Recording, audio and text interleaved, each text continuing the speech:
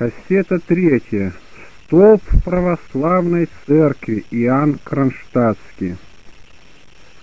В саратовских театрах много раз исполнены возмутительные пьесы. Первое пробуждение весны, рассчитанное на растление нравственного чувства русского общества, в особенности юношества.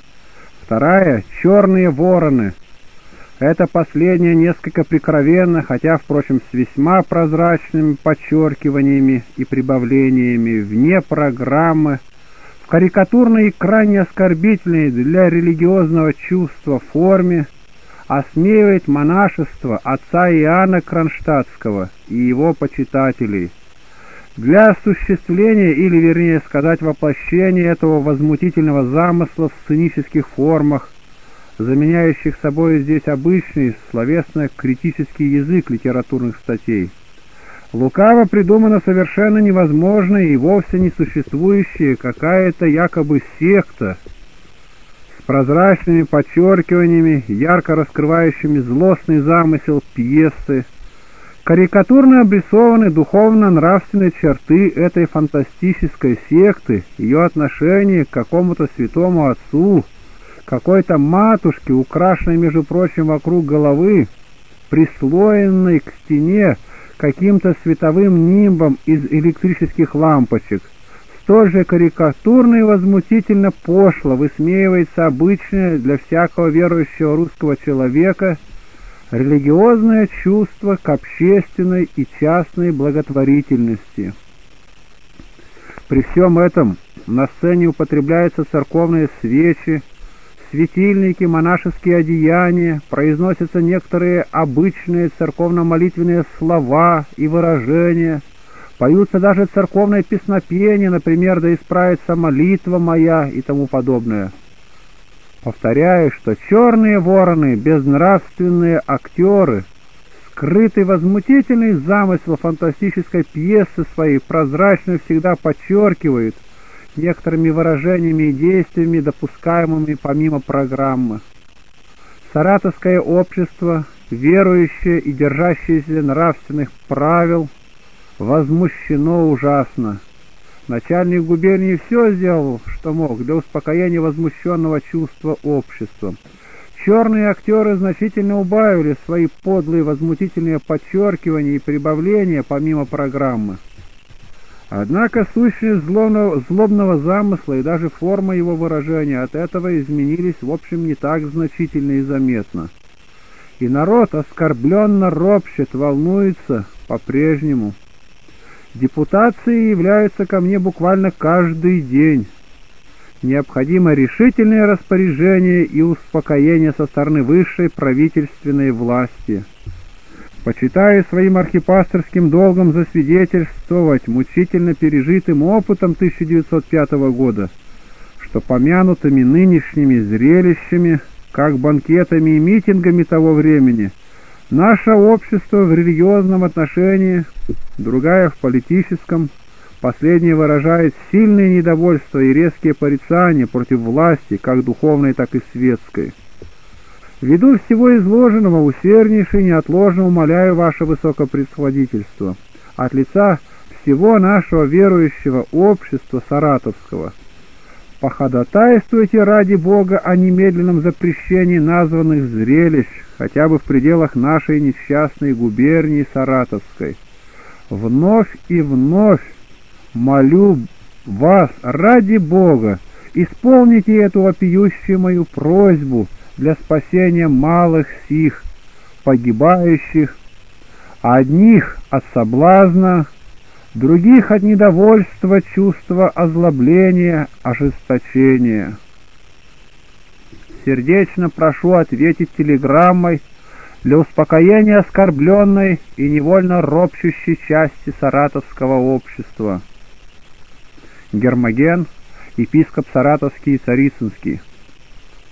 Открытое выступление истинного ревнителя благочестия и ревностного защитника православия, высокопреосвященнейшего владыки Гермогена, епископа Саратовского и Царицынского, возмущенного наглостью безбожников, ободренных молчанием высшей духовной власти, вздумавших перенести свое углумление над искренним чувством почитателей искреннего пастыря и великого праведника отца Иоанна Кронштадтского на театральной подмостке, вызвало в истинно верующих христианах самую живейшую радость и успокоение.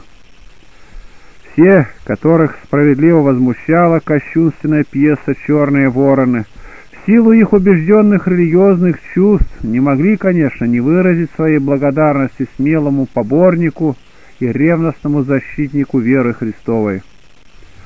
Первого же момента выступления его против кощунственной пьесы, задавшейся целью осмеять, опошлить, забросать грязью клеветой истинный светильник веры Христовой Отца Иоанна и его последователей, в редакцию Кронштадтск «Маяка» стали поступать письма от отдельных лиц и даже групп с просьбами выразить благодарность Высокопреосвященнейшему Владыке. В начале этого месяца по почину редактора-издателя означенного журнала Большакова был послан благодарственный адрес Высокопреосвященнейшему Владыке Гермогену следующего содержания.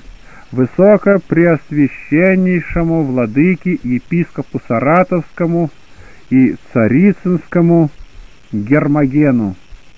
Владыка святый, мы, истинные почитатели великого пастыря отца Иоанна Кронштадтского, во главе с редактором, издателем журнала «Кронштадтский маяк» Николаем Ивановичем Большаковым, все те почитатели, которых современная жидовская печать называет сектантами, не имеем возможности точно выразить чувство благодарности за вашу истинно пасторскую ревность к поддержанию духа православия, в нашей измученной, истерзанной крамолой стране. Ваше печатное заявление, что вы не находите ничего зловредного сектантского в нашем стремлении жить по-христиански, сильно подняло в нас дух бодрости, дало уверенность, что мы идем по верному, тернистому пути к достижению вечного блаженства, заповеданного Богом. Толпа, всегда слепо поддающаяся влиянию отдельных личностей, и тут оказалась слишком легкомысленно, идя на удочку слуг сатаны, исконного врага человеческого. Мы, истинные христиане, оставшиеся верными защитниками веры Христовой, наивно думали, что такое открытое глумление над верой и обрядами православной церкви вызовет взрыв негодования со стороны нашего столичного духовенства — но их упорное до сих пор молчание действует на нас самым удручающим образом. Правда была наряжена для расследования комиссия, но результат ее действий пока неизвестен, между тем, как кощунство продолжается, расплевая наше общество. Можно понять впечатление наше, полученное от прочтения вашего пасторского воззвания, которое показало нам, что жив еще дух истинной любви к тому, кто взял на себя грехи мира, пострадав на кресте, жив еще дух ревности в людях неиспорченных, не воспринявших в себя духа заблуждения. Это воззвание показало нам, что мы не одни стоим на страже, оберегая веру Христову, царя самодержавного, и дорогое Отечество от вредного влияния людей заблуждающихся. Да даст Господь вам и всему истинно православному населению вашей епархии, дружно вставшей на защиту дорогой нам веры, силы и ревность продолжать свое святое дело, за успех которого мы непрестанно возносим горячие молитвы к престолу Всевышнего. Да проникнет оно в самые сокровенные уголки нашей необъятной Руси, пробудив в православном народе дружное стремление, редактор-издатель журнала «Кронштадтский маяк» Большаков. В скором времени после отправления этого адреса по назначению наша редакция была осчастливлена получением ответа, который мы тут же помещаем. «Милостивый государь, господин редактор!» Преосвященный владыка Гермоген, епископ Саратовский Царицынский, поручил мне выразить вам его глубокую благодарность за ваше внимание и письмо, полученное в начале текущего ноября. Владыка обещается вам спустя несколько дней написать сам. Теперь же почти ежедневно службы. Преосвященный Владыка просит вас напечатать в вашем уважаемом журнале «Кронштадтский маяк» телеграмму, посланную им в петербургскую газету «Колокол». При всем прилагается телеграмма и отдельными оттисками лески «Черные вороны». Не найдете ли вы возможным распространить эту телеграмму «Черные вороны» в Петербурге, кроме напечатания в Кронштадтском маяке, и отдельными лесками, если вам угодно, мы можем выслать вам. С глубоким почтением к вам Саратовского архиерейского дома иродиакон Павел Кусмарцев 14 ноября 1907 года. Телеграмма епископа Гермогена. 12 ноября епископом Гермогеном послана в редакцию газеты «Колокол» ниже следующая телеграмма. Усерднейше прошу редакцию напечатать следующую мою статью «Черные вороны». В номере 520 досточтимой газеты «Колокол» я прочел, нисколько не удивившись, вполне характерное по содержанию письмо лица самого близкого родного черным вороном Протопопова. Она объясняет создание черных воронов якобы из возвышенных мотивов, именно из православно-миссионерских своих намерений. Каково? Подумайте. А преступная театральная сцена вдруг сопричислила это родное детище своего искреннего служителя и защитника к разряду явлений совершенно однородных, к злокачественным пробуждениям весны, и вороны Протопопова действительно, по искреннему решению самих же актеров, сопровождают собой всюду эту пошлую отвратительную весну, как сродную себе стихию, созданную нам лукавым освободительным движением. Теперь стало вполне очевидным, что как весна, так и ее враны протопоповские, жизнь человека, сестра Беатриса и чудо странника Антония ярко обозначают собой ничто иное, как новый фазис, новый уклон продолжающегося демонического движения — или же, если хотите, особый вид безбожного антихристианского миссионерства. Самом деле нельзя не заметить того, что оставленное пока на время, как неудавшееся бывшее революционное политиканство, вдруг точно по наперед начертанной программе очевидным образом сменилось повсюдным, как бы миссионерством, то якобы моральным, то якобы религиозным, в сущности, конечно, и антиморальным, и антирелигиозным, и вглядитесь, как одни и те же лица мгновенно стали приспособляться к совершенно противоположным, чем прежде, занятиям. Так в литературе, в сфере образования, общественного мнения и тому подобное. Даже, наконец, на театральной сцене появились революционные разновидности под личиной точь-в-точь -точь миссионеров, притом исключительно православных, с другой стороны, и самые театральные сцены и актеры стали вдруг почему-то сродни нашим заправским по должности миссионерам. О, превратное время! О, лукавые хамелеоны, низкие клевреты и прислужники злого духа времени! Неужели вы думаете, что праведный суд Божий не отыщет вас под наскоро надетыми, плохо прилаженными личинами?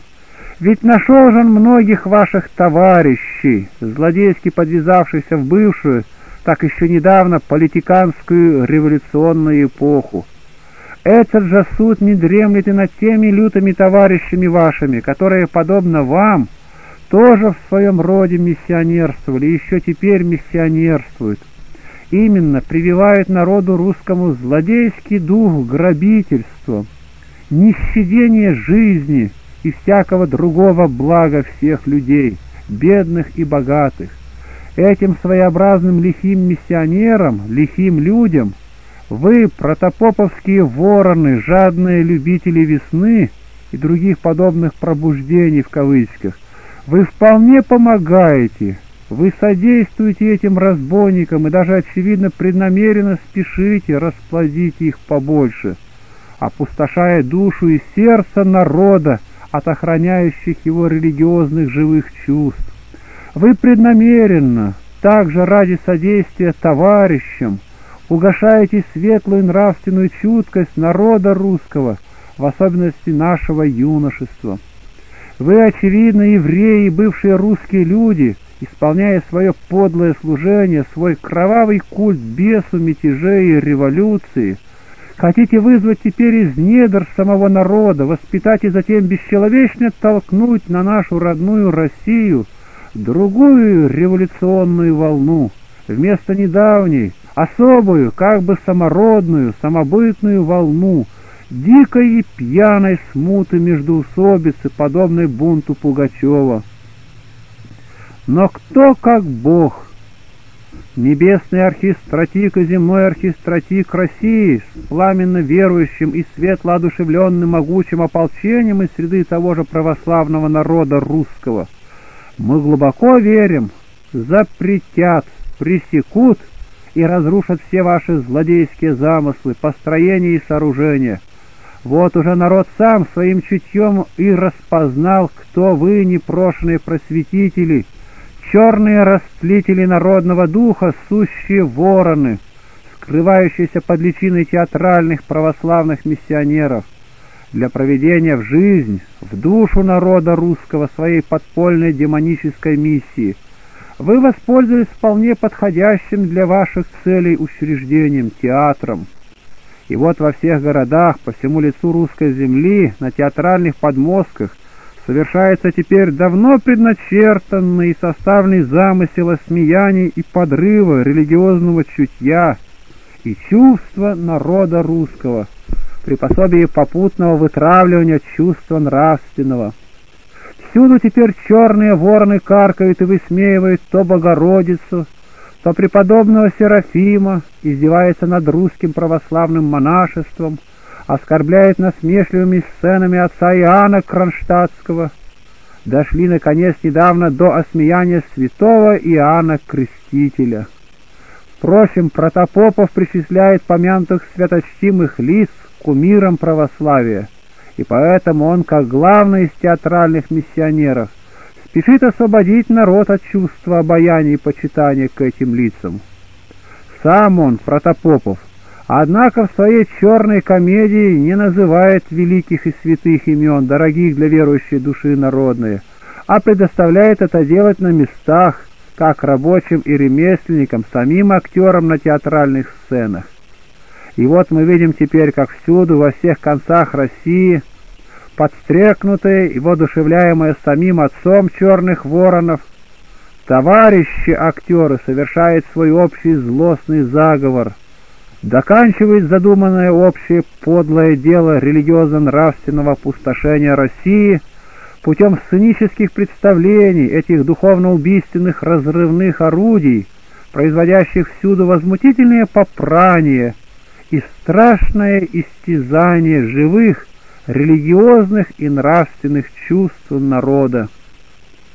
Итак, в этой новой лихой године революционно-убийственного движения повторяются все прежде уже испытанные товарищами способы крушения жизни и духа народных. Притом, вглядитесь, здесь есть подстрекатели, действующие за спинами товарищей, есть и послушные исполнители их велений.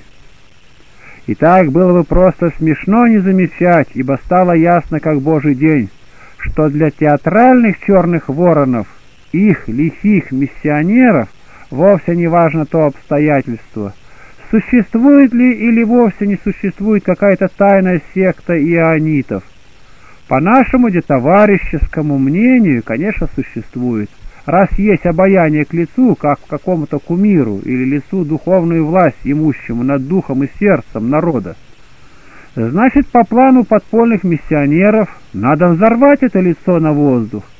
А что при этом может погибнуть великое множество других людей, многие будут искалечены навсегда в духовном отношении, это так им и нужно.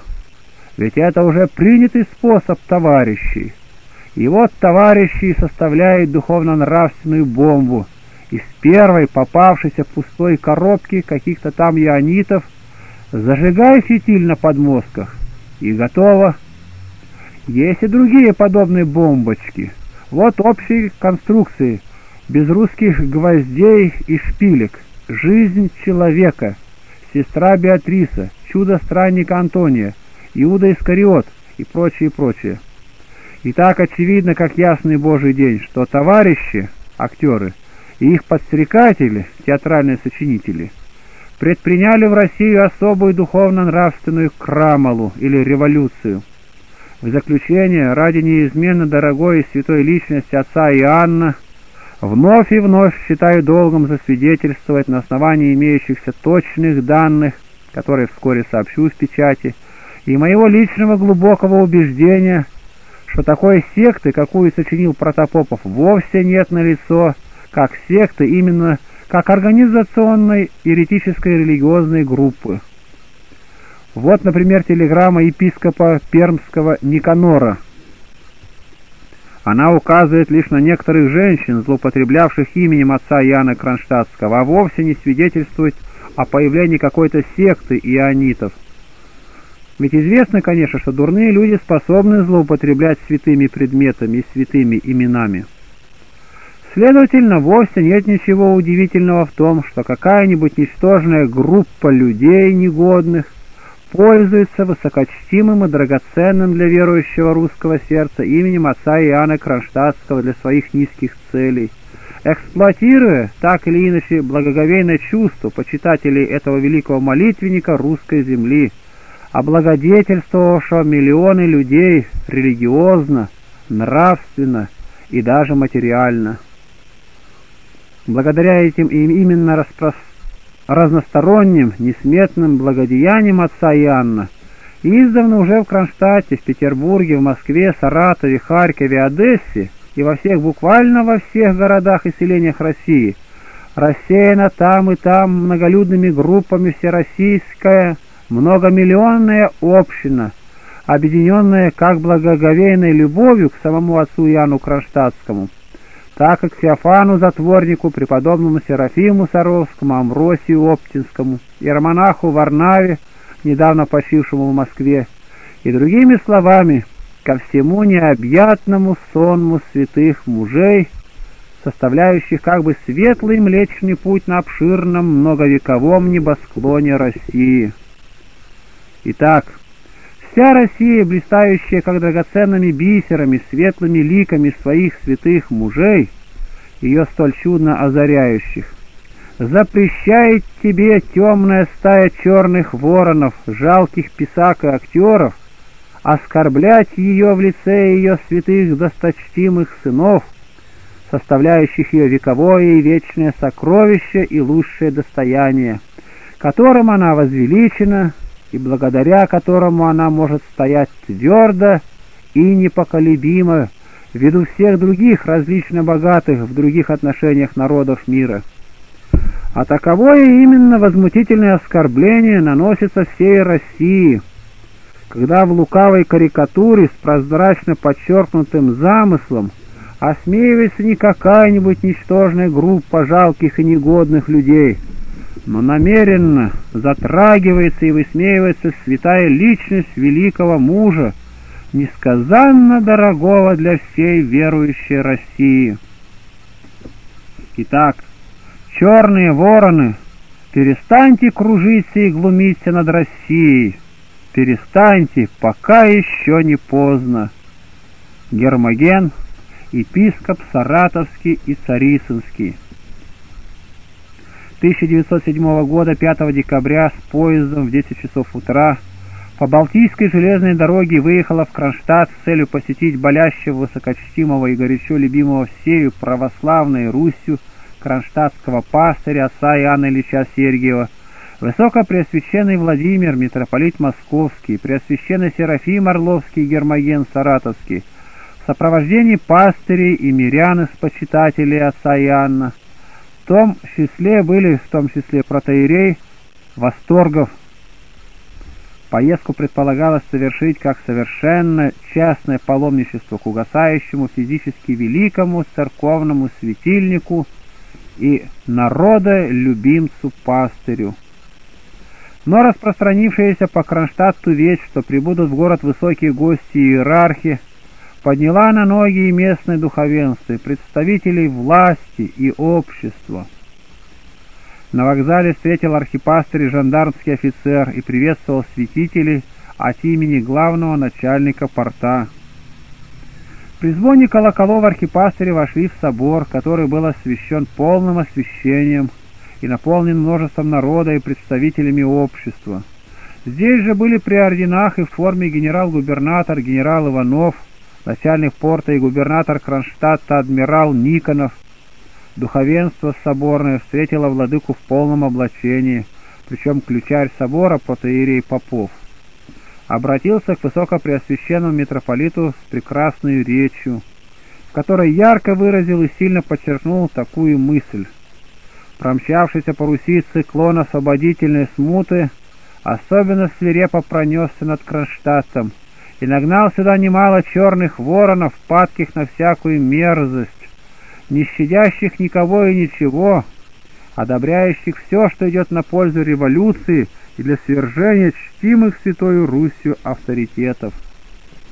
Оратор просил у владыки молитвенной помощи и заступления в борьбе с черными воронами, героями нашего крамольного подлого времени, и благодарил за высокое внимание к болящему отцу Иоанну. Черные хищники обычно слетаются туда, так приблизительно ответил владыка, где труп — и уснащаются там, где добыча. Кронштадт всегда был и есть благодаря пасторским подвигам веры и милосердия болящего ныне высокочтимого старца-пастыря, в глазах всей истинно русской православно верующей России местом, где вожжен маяк, где сияет звезда веры и ревности от Церкви Божией. Пригнанные попутным ветром буйные годины, черные вороны — Даст Бог, скоро разлетятся, им здесь добычи не найти. Молитва веры верного служителя церкви была и да будет впредь спасательным, спасительным маяком для обуреваемых и здесь напастями нашего смутного, свободного от веры и совести времени. Приложившись к кресту и приняв окропление святой водою, Святители проследовали на поклонение святым иконам и святому престолу, а певшие, одетые в парадные кунтуши, тихо запели «Достойно входное». Дьякон произнес Эктинию, а затем провозгласил многолетие, в том числе и архипастырем-гостям. Высокопреосвященный митрополит произнес последнее многолетие сам – церковнослужителям, градоначальнику, военачальнику и всем православным жителям города сего. Благословив народ архипастыри и сопровождавшие их, отправились в дом к отцу Иоанну. Высоким гостям и посетителям скоро вышел и дорогой батюшка, но уже не то и всегда быстрой и бодрой поступью. Отец Иоанн сильно приутомлен болезнью. Посидел, лицо вытянулось и свидетельствует, исхудало, имеет бледно-желтый восковой цвет, свидетельствующий об изнурительной лихорадке. Чудные голубые глаза уже не блестят прежней живостью, а имеют взор потухающий, хотя полны той же пленяющей доброты и ласки. Голос гораздо мягче и не имеет тех резких надорванных нот, которые слышны были ранее от переутомления. Сердца любящих отца Иоанна почувствовали, что тяжелая немощь изнуряет великого старца, пастыря православной России, и едва ли долги будут дни его жития. Некоторые из приезжих не могли удержать слез, лобзая, может быть, в последний раз дорогого батюшку. Сердечно благодарю вас, высокие гости, преосвященнейшие архипастыри, что вспомнили меня малого и посетили мои немощи. В особенности лобзаю вашу любовь, высокопреосвященнейший владыка. Прибыли генерал Иванов и адмирал Никонов. Болящего старца владыка митрополит усадил с собою рядом на диване. Отец Иоанн попросил благословить чай и поданную закуску. Сам всем гостям налил и подал по рюмке вина и провозгласил здоровье высоких дорогих гостей. Высокопреосвященный митрополит пожелал здравия болящему, всем дорогому хозяину и многих лет жизни на благо Святой Церкви. Все дружные от полноты любящего сердца пропели многие лета, что, видимо, глубоко тронуло страдальца. Отец Иоанн просидел с гостями более получаса, оживленно беседовал о своих летах, ему теперь 79 лет, о немногих здравствующих товарищах-архипастырях, рассказывал о своей мучительной болезни, не дающей ему ни днем, ни ночью покоя более чем на 15-20 минут. И только во время богослужений, которые он снова, вопреки требованиям врачей, начал отправлять ранним утром, природа дает ему ослабу часа на два. Особенно слабеют силы от отсутствия аппетита и полного бездействия желудка, твердого ничего не может принимать. Несмотря на требования врачей, как непреклонно ревностный хранитель церковных установлений, отец Иоанн наотрез отказался от скоромного питания, хотя бы и в виде лекарства. «Благодарю Господа моего за неспосланные мне страдания для предощущения моей грешной души», — смиренно сказал отец Иоанн, заканчивая скорбную повесть о своей болезни — оживляет святое причастие.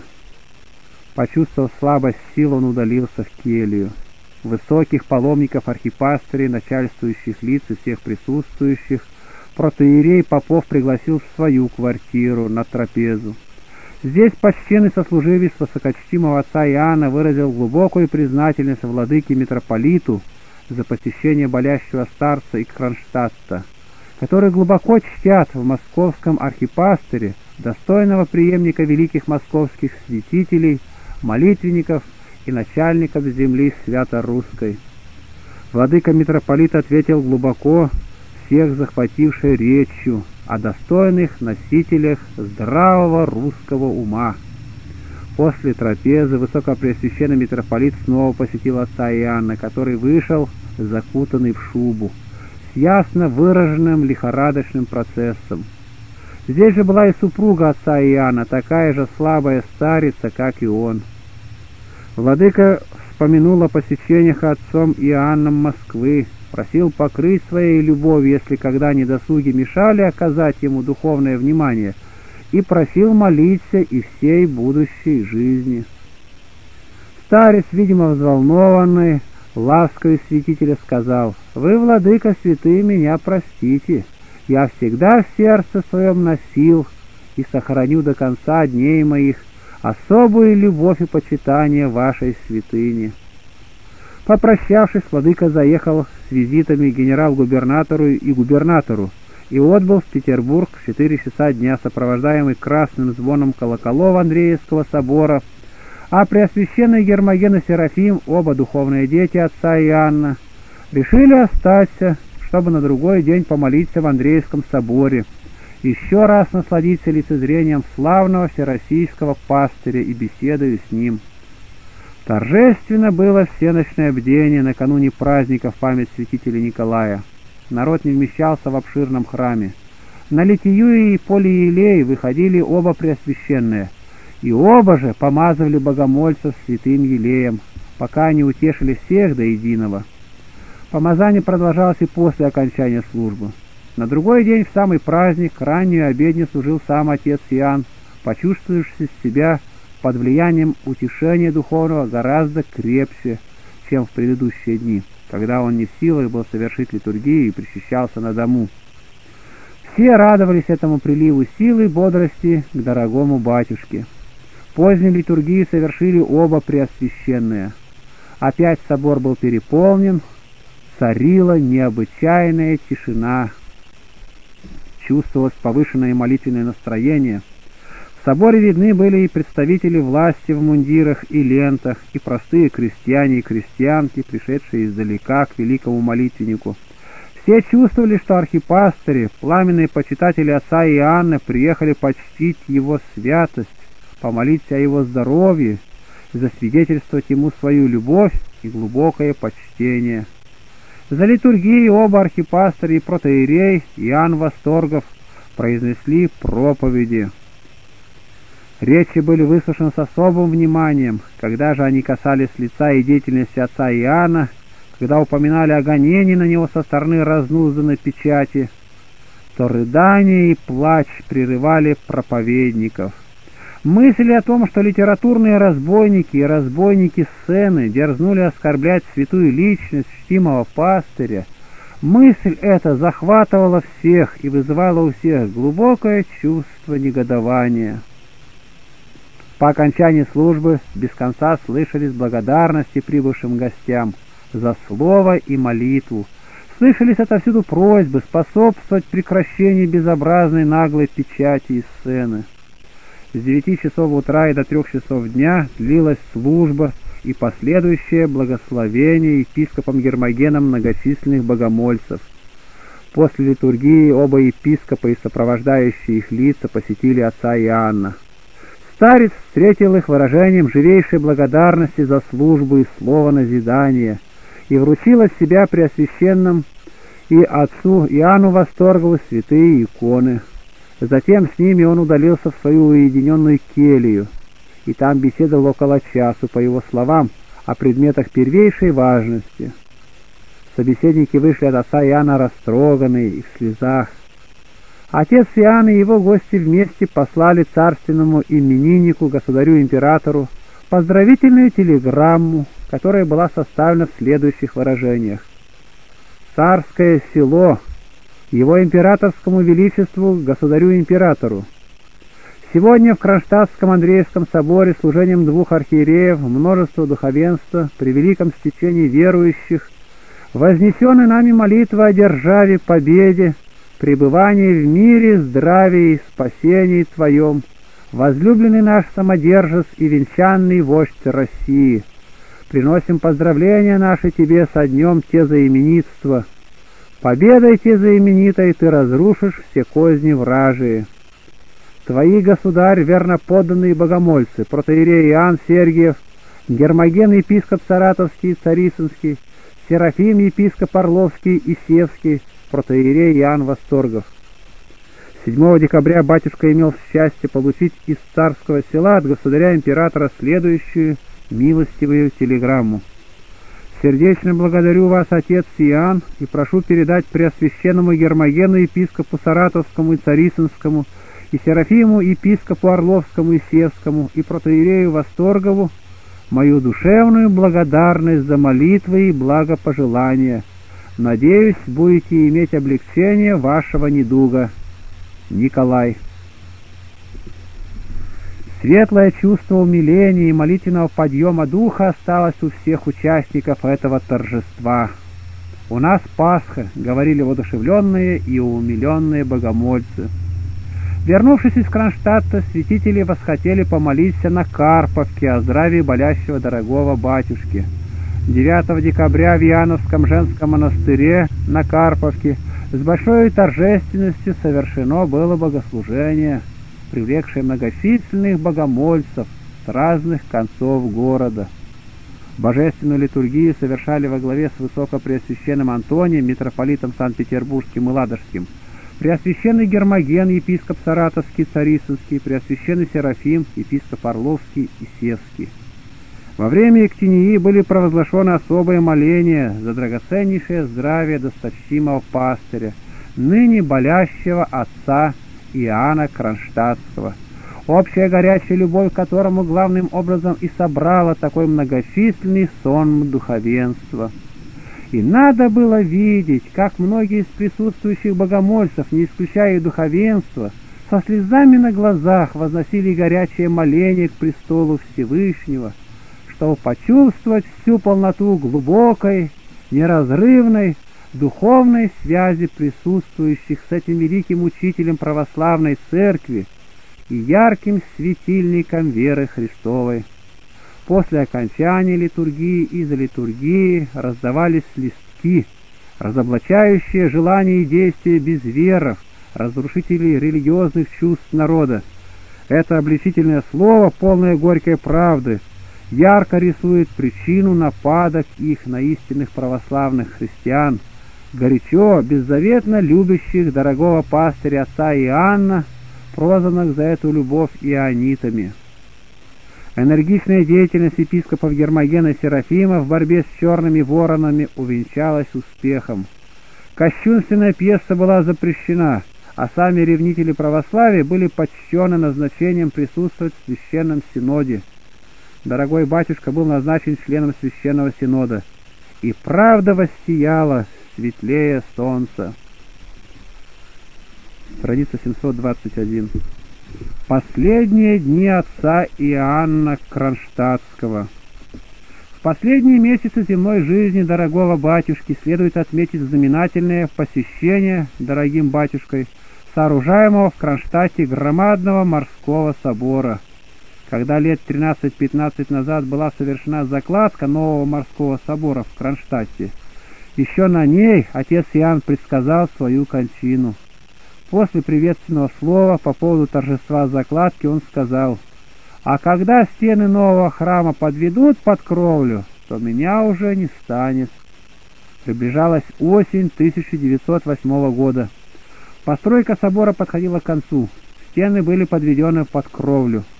Дорогой батюшка в этом подведении соборных стен под кровлю усмотрел для себя знамение, возвещающее ему неба о близости дня кончины его земной жизни. Того дня, когда он, дорогой пастырь, опора, твердыня и стена нерушимая России, внидит в небесные кровы, и его душа, всегда жившая на земле в помощи Вышнего, по смерти в крови Бога Небесного водворится. И вот, подобно тому, как святой пророк Моисей, богоизбранный вождь еврейского народа, перед смертью восходил на гору Нево, в законе 32-34 главы, так и великий молитвенник земли русской перед своей смертью, невзирая на крайние немощи предсмертное истощение сил телесных, посетил собор и с помощью людей поднимался до самого купола. Великий духовный восторг засиял в очах дорогого пастыря. Он всегда любил храмы Божии.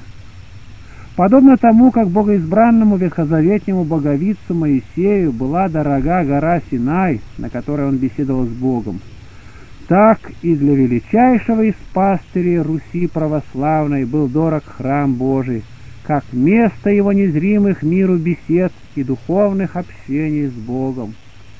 Тогда же дорогой батюшка послал всеподданнейшую телеграмму государю-императору, на каковую удостоился получить высокомилостивый ответ. Государь-император высочайше соизволил удостоить протеерея Иоанна Ильича Сергиева Кронштадтского следующей высокомилостивой телеграммой. Протеерею Кронштадтского епархиального собора Иоанну Сергиеву Благодарю вас, батюшка Иоанн Ильич, за добрую память. Желаю вам здоровья и сил. Также дождаться радостного дня освящения морского собора. Николай. Телеграмма эта последовала в ответ на следующую телеграмму. В Новый Петергоф, Его Величеству Государю Императору. Ваше Величество, хотя и больной я, но глубоко интересуюсь сооружаемым по вашему чинию инициативе морским собором в Кронштадте. Я с помощью людей побывал в нем, осмотрел его внутренность с возвышенности и удивился его красоте, размерам, архитектуре, смелости и высокому художественному вкусу архитектора и его помощника. Я души пожелал, как и всегда, вашему величеству благоденственного и долгоденственного царствования вместе с их величествами, государынями, императрицами и наследником цесаревичем, и дождаться благополучного окончания этого святого величественного дела и освящения его, столь же торжественного и радостного, как и бывшие закладки его. Ваш верноподданный протеерей Кронштадтского епархиального собора Иоанн Сергиев – Блаженная кончина отца Иоанна. Перенесение гроба из Кронштадта в Петроград на Карповку. Панихиды. Поминовение в 9, 20, 40 день. Дивное знамение загробных молитв отца Иоанна. Высочайший рескрипт об увековечении его памяти. Чудеса при гробнице. В начале декабря 1908 года болезнь дорогого батюшки усилилась и обострилась. 6 декабря он служил литургию, но потом, После совершения им последней литургии 9 декабря он окончательно слег в постель и уже больше никого не мог принимать. До самой смерти его причащали ежедневно. Вместо всяких лекарств батюшка пил только воду из источника преподобного Серафима Саровского и употреблял миндальное молоко. Последние дни отец Иоанн все время находился в комнате с открытой форточкой, всегда в шубе и полулежал в кресле. Дорогой батюшка еще задолго предвидел свою кончину. Когда лет 13-15 назад была совершена закладка нового морского собора в Кронштадте, еще на ней отец Иоанн как бы предсказывал свою кончину. После приветственного слова по поводу торжества закладки он сказал, «А когда стены нового храма подведут под кровлю, то меня уже не станет». Так оно и случилось. Незадолго до смерти, будучи совершенно больным, покойный несколько раз справлялся, много ли дней осталось до 20 декабря? В ноябре он заблаговременно разослал всем почтальонам, рассыльным и тому подобным людям, исполнявшим его поручения, праздничное на Рождество, а то и вовсе не получит. Находясь в забытии 18 декабря, он спросил игуменю Яновского монастыря на Карповке, мать Ангелину, которое сегодня число. Ему ответили «восемнадцатое». «Ну хорошо, значит, еще два дня», — сказал отец Иоанн и опять потерял сознание. Последние три дня болезнь приняла особенно тяжелый характер. 17 декабря он пожелал быть на воздухе и поехал покататься в экипаже случайного извозчика, который привычек батюшки не знал, катал его очень долго, и батюшка простудился. Болезнь осложнилась. На другой день он почувствовал сильную слабость, и 19 декабря утром уже не мог выйти в переднюю, чтобы встретить священника со святыми дарами, как делал это ежедневно, и причастился только святой крови. Весь этот день пастырь-мученик находился как бы в забытии, с закрытыми глазами, оставаясь почти все время в кресле. По временам были слышны его стоны, которые говорили присутствующим о тяжких страданиях. Однако сознание было ясным у батюшки до конца. Последнее распоряжение он сделал 19 декабря в 8 часу вечера. Настоятельница Иоанновского женского монастыря игуменя Ангелина, проведшая при батюшке весь этот день, просила у него благословения осветить храм, усыпальницу, который был давно готов, но не освящен. На эту просьбу батюшка ответил «Да, да, осветить» и поднял руку в знак благословения. Игуменя, приняв благословение, уехала в монастырь, готовиться к освящению. Освящение храма было совершено 21 декабря благочинным монастыря архимандритом Макарием, причтом монастыря. Вдова покойного, давно страдающая водянкой, вследствие ухудшившегося здоровья супруга, окончательно расстроилась и занемогла. У нее сделался острый нервный припадок. По просьбе престарелой и больной супруги отца Иоанна Елизаветы Константиновны в квартире батюшки остался на ночь священник Иоанн Арнацкий, а также Шемякина, сродники почившего, которые вместе со слугами батюшки не отходили от него всю ночь. Но они не могли облегчить страдальца. От всякой врачебной помощи батюшка решительно отказался, и после восьми часов только два раза согласился принять по нескольку капель святой воды. В десять часов батюшка выразил желание встать с кресла. Его подняли и помогли лечь в постель. Но через несколько минут он опять пожелал встать и оставался в кресле до часу ночи, в том же положении, как прежде. Где были в это время мысли страдальца-пастыря, неизвестно. Вероятнее всего, он молился в последний раз тою умную молитвою, которой любил отдаваться в то время, когда измученный целодневными трудами возвращался в город Кронштадт в вагоне и на пароходе. А теперь предстояло нечто более важное. Утружденный многолетними подвигами пасторства своей земной жизни – дорогой батюшка приближался к иному граду, Иерусалиму небесному, к вечным обителям Царства Славы, где уже уготовано было ему место упокоения. Во втором часу ночи батюшка дрожащей рукой сделал знак, что он желает встать. Его опять подняли, на этот раз ноги отказались служить ему.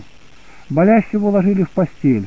Вместе с тем, видя тяжелое его положение, просили ранее обыкновенного времени совершить литургию, которая началась в три часа утра, а около четырех часов священник Иоанн Аржановский, заменявший болящего духовника батюшки, и соборный священник Николай Петровский, прибыли со святыми дарами.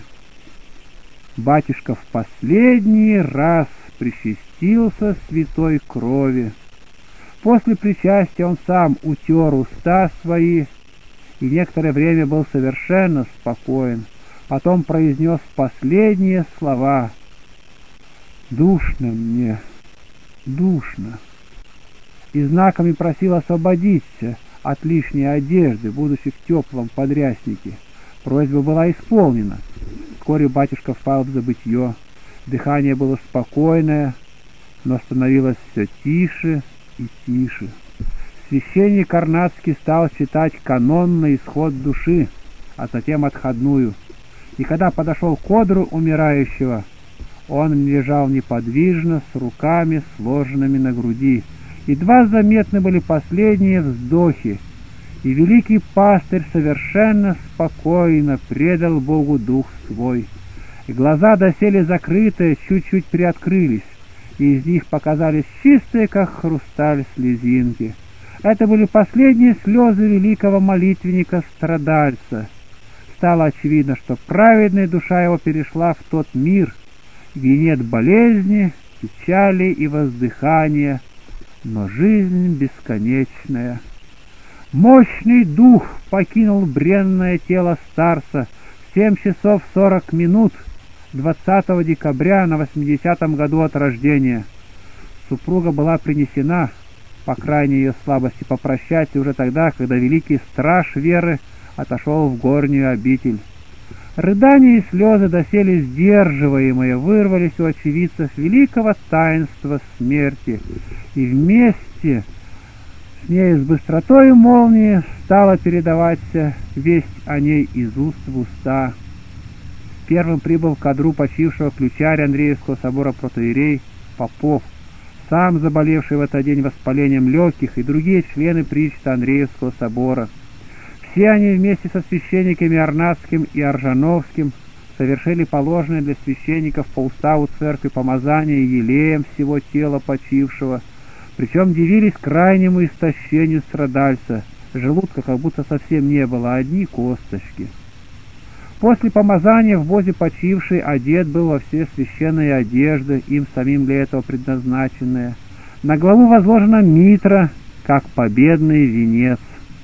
Лик почившего принял величавый и спокойный вид, и весь он, одетый в полное священническое белое облачение и в белой митре, напоминал собой светлого ангела. Верим и надеемся, что Господь принял ангельскую душу верного раба своего в светлые обители свои, и что православная Русь будет иметь в нем молитвенника и предстателя у престола Господня. После облачения, почивший на руках священнослужителей в предшествии клира, перенесен был с ложа смерти в другую комнату, где отслужена была тотчас же первая панихида. В то же время торжественно печально загудел колокол Андреевского собора, извещая жителей Кронштадта о великой невознаградимой утрате. О высокочтимого пастыря было немедленно сообщено по телеграфу в Царское село, в Гатчину, митрополиту Петроградскому Антонию и обер-прокурору Священного Синода. На всеподаннейшем докладе последнего о кончине протеерея Иоанна Ильича Сергиева государю-императору благоугодно было 21 декабря собственноручно начертать со всеми почитавшими усопшего протеерея отца Иоанна оплакиваю кончину его. От имени их императорских величеств государынь императорис и Марии Федоровны и Александры Федоровны на гроб почившего были возложены венки соизволения высокопреосвященнейшего митрополита Антония в Кронштадт отправился преосвященный Кирилл, епископ Гдовский, о чем просил его сам батюшка перед своей кончиной. Преосвященный Кирилл прибыл в Кронштадт 20 декабря около пяти часов дня. Приехав прямо на квартиру отца Иоанна, он совершил третью панихиду. Вторая была отслужена в один час дня — присутствии главного начальника Кронштадта генерала Артамонова, главного командира Кронштадтского порта контр-адмирала Григоровича и других начальствующих лиц. Вечером тело почившего было положено в, дубовый гроб и отслужено панихида преосвященным Кириллом при участии местного духовенства. В тот же день весь Петербург уже знал о кончине батюшки. Немедленно во всех почти церквах начались служения панихид. Раньше других церквей получено было печальное известие в Иоанновском монастыре. Тотчас все сестры собрались в церковь, и их рыданиями сопровождалось все служение панихиды. Утром 21 декабря на Балтийском вокзале несметные толпы народа брали билеты, устремляясь в Кронштадт. Никаких разговоров слышно не было, все ехали молча, изредка перекидываясь отрывочными замечаниями. Создалось особое, благоговейное настроение. До самых сумерек поезда подвозили все новых и новых паломников. В Ораниенбауме Спрос на извозчиков был огромный, кибитки, дровни, сани тянулись по льду черной вереницей целый день. Всю ночь на 21 декабря у ворот церковного дома толпился народ. Стояла длинная цепь желающих проститься с отцом Иоанном. С 11 часов вечера дверь квартиры почивавшего пастыря была закрыта, и доступ публики прекращен к почившему пастырю. В девять часов утра на квартире почившего совершили последнюю панихиду. На панихиду собрались представители местной администрации и многое множество почитателей. Небольшая квартира далеко не могла вместить всех собравшихся. После панихиды гроб на руках духовенства был вынесен из квартиры.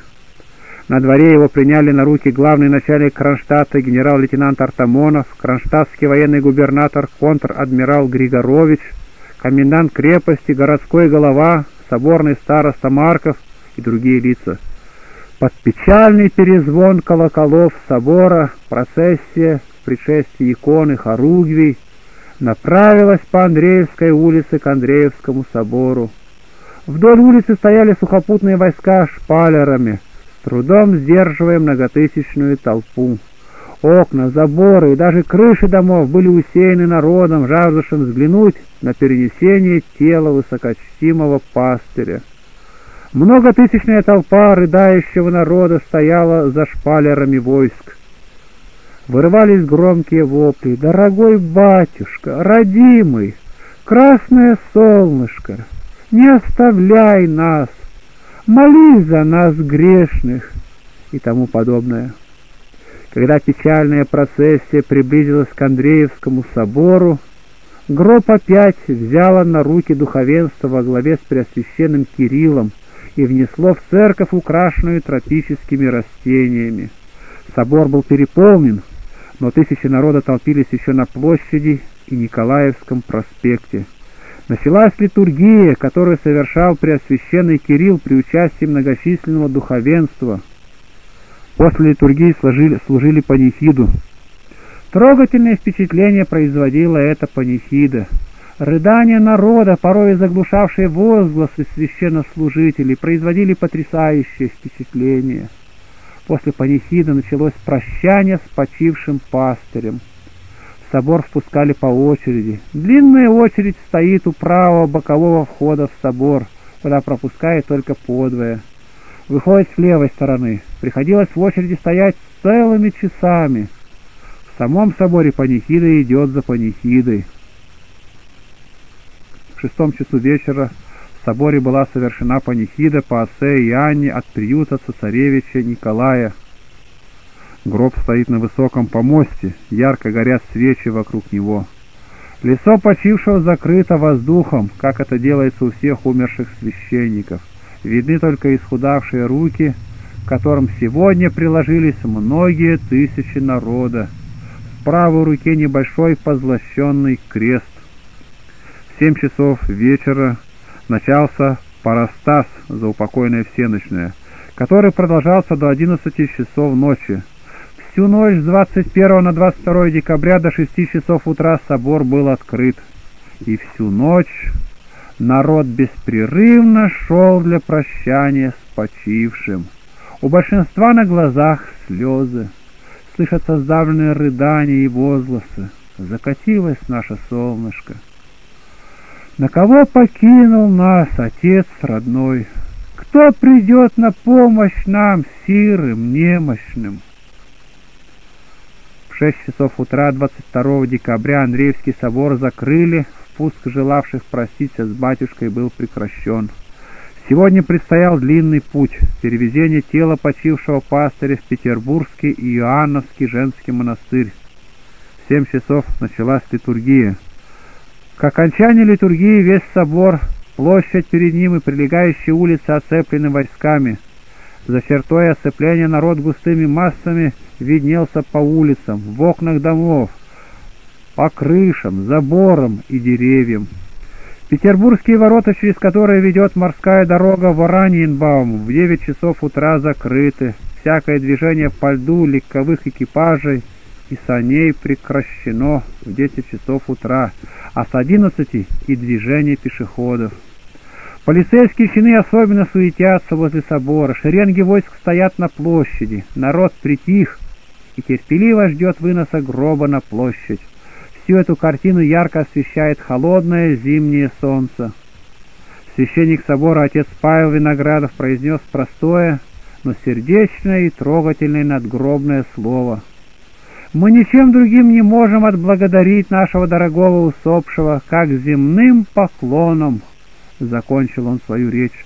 Почти вся церковь после этих слов опустилась на колени. Епископ Кирилл в своем слове охарактеризовал отца как личность, окруженную ореолом небесной славы.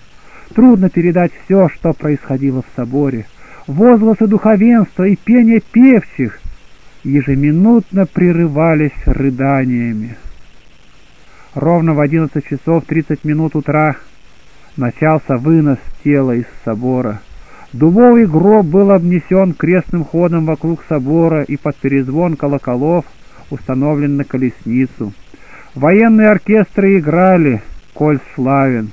В рядах войск были знамена. Для участия в процессии собрались хоругвеносцы из всех кронштадтских церквей. Во главе процессии шли драгуны с знаменами и хором музыки.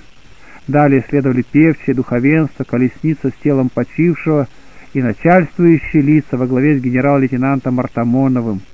Шествие замыкало рота 94-го Енисейского полка и народ в числе по крайней мере 20 тысяч людей обоего пола. У морского собора у церкви Богоявления и возле часовни у Петербургских ворот, выстроенные в память адмирала Макарова, были совершены литии. По всей дороге через город стояли войска шпалерами – лютеранская церковь на берегу моря почтила память дорогого покойника продолжительным погребальным звоном. Далее предстоял путь через море. По приказу главного начальника Кронштадта всем желавшим проводить усопшего по морю предписано следовать рядами друг от друга не менее как на два шага ввиду непрочности льда. На всем морском пути устроили пять спасательных станций, а через обнаруженные на льду трещины соорудили особые мостики. Епископ Кирилл с некоторыми священнослужителями проехал вперед в Ораниенбаум, чтобы там встретить процессию на вокзале. Весь путь пройден менее чем в три часа. Погребальные пение и звуки, коль славен, не смолкали ни на одно мгновение — в Ораниенбауме процессию ожидали и старый млад, богатый и бедный, словом, все население. Местное духовенство во главе с Преосвященным Кириллом отправилось крестным ходом навстречу процессии на берег моря. По всему Ораниенбауму раздался перезвон колоколов. Гроб внесли на платформу и поставили в траурный вагон специального поезда. По распоряжению начальника северо-западных железных дорог Камергера Валуева для перевезения тела отца и сопровождающих процессию лиц назначено несколько траурных вагонов к поезду, отходящему в Санкт-Петербург в 3 часа 30 минут дня. С утра 22 декабря в Араньенбаум начали прибывать с поездами почитатели отца Иоанна и духовенства. Очень много народа приехало из Петергофа и Стрельны. Петербургские поезда шли переполненными.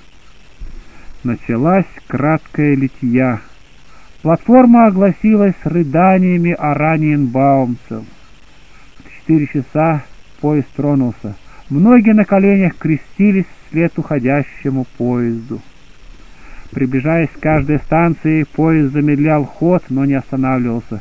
На всех станциях была масса народа, встречавшего последнее путешествие дорогого батюшки по Балтийской дороге, по которой он за всю свою жизнь совершил множество поездок. Около пяти часов дня траурный поезд прибыл в Петербург. Полна скорбного умиления и величественной печали была процессия перевезения тела отца Иоанна с Балтийского вокзала в Яновский женский монастырь на место упокоения. По обводному каналу по всему Измайльскому проспекту уже с трех часов шпалерами стояли тысячи народа. Парадных комнатах вокзала собралось духовенство. Здесь облачились в белые ризы высокопресвященный Сергий, архиепископ Финляндский, епископ Архангельский Михей и епископ Нарский Никандр, архимандрит и Феофан, ректор Духовной Академии, и Вениамин, ректор семинарии, благочинный Иоанновского монастыря архимандрит Макарий, специально прибывший из Москвы, настоятель патриаршего антиохийского подворья архимандрит Игнатий, председатель общества религиозно-нравственного просвещения протеерей Арнацкий и настоятели или представители от всех столичных приходов. К вокзалу уже прибыли исаакиевские хоругви-носцы с хоругвями, были хоругви от приходских церквей, от Иоанновского монастыря и освященные отцом Иоанном знамя хоругви от Союза русского народа. По всему пути похоронного шествия до монастыря движение по улицам было прекращено. Когда поезд остановился под сводами Балтийского вокзала, из салона вагона вышел преосвященный Кирилл и сопровождавшие тело священники и присоединились к встречающим. Сонмом епископов и священников перед открытым траурным вагоном совершена лития пел хор певчих Семеновского полка. На руках духовенства дубовый гроб был вынесен из вагона и поставлен на печальную с серебряным балдахином увенчанной митрою колесницу. Лишь только печальное шествие двинулось с вокзала, как пронесся в воздухе печальный удар колокола. Народ на площади начал креститься, раздались рыдания, которые перешли в общий плач — когда печальное шествие выступило на площадь. Перед колесницей шествовало во главе с упомянутыми архипастырями духовенство всех столичных церквей в серебряных облачениях. Среди них присутствовало восемь митрофорных протеереев. По бокам несли церковные хоругви и знамена патриотических организаций, освященные самим отцом Иоанном, за колесницей шел санкт-петербургский градоначальник генерал-майор Драчевский и бывший комендант Кронштадта, ныне командующий войсками Киевского военного округа генерал-лейтенант Иванов. По всему пути шествия неисчислимые толпы народа занимали площади и тротуары. Даже кровля домов и заборы были усеяны зрителями. Под печальный перезвон колоколов медленно двигалось шествие — Плач и рыдания народных масс заглушали пение певших и звон. Из среды певчих и духовенства всю дорогу слышались трогательные напевы канона «Помощник и покровитель бысь мне во спасение». Шедший за гробом народ образовал несколько хоров, которые пели святые Божии, вечную память и другие духовные песнопения увидели колесницу, стоящие по пути шествия на площадях и тротуарах, неисчислимые толпы народа, услышали пение, и воздух оглашается плачем. И так громок был иногда этот плач, что прорывался сквозь мощное пение, заставлял дрожать голоса поющих. Чувствовалось, что голоса эти достигают неба, и что достойнейшему пастырю действительно будет вечная память. Так народ провожал пастыря, который был сам народной добротой, народной совестью, народной верой. Пока будут подобные пастыри, будет и вера в России. Не бывало еще, кажется, похорон с такой огромной плачущей толпой из людей всевозможных званий, начиная от простолюдина до высших сановников.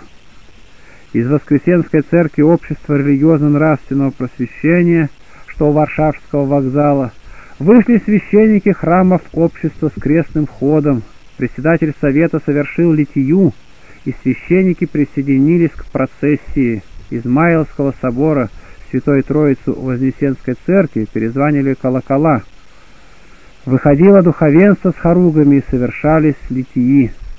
У Исаакиевского собора во главе многочисленного духовенства с хором исаакиевских певчих вышел для служения литии маститый настоятель митрофорный протоиерей Соболев – Затем процессия направилась по особому повелению государя-императора по набережной Невы, мимо Зимнего дворца. Благодаря этому высочайшему повелению процессии необходимо было следовать мимо здания Святейшего Синода и остановиться перед ним на краткое время для служения литии.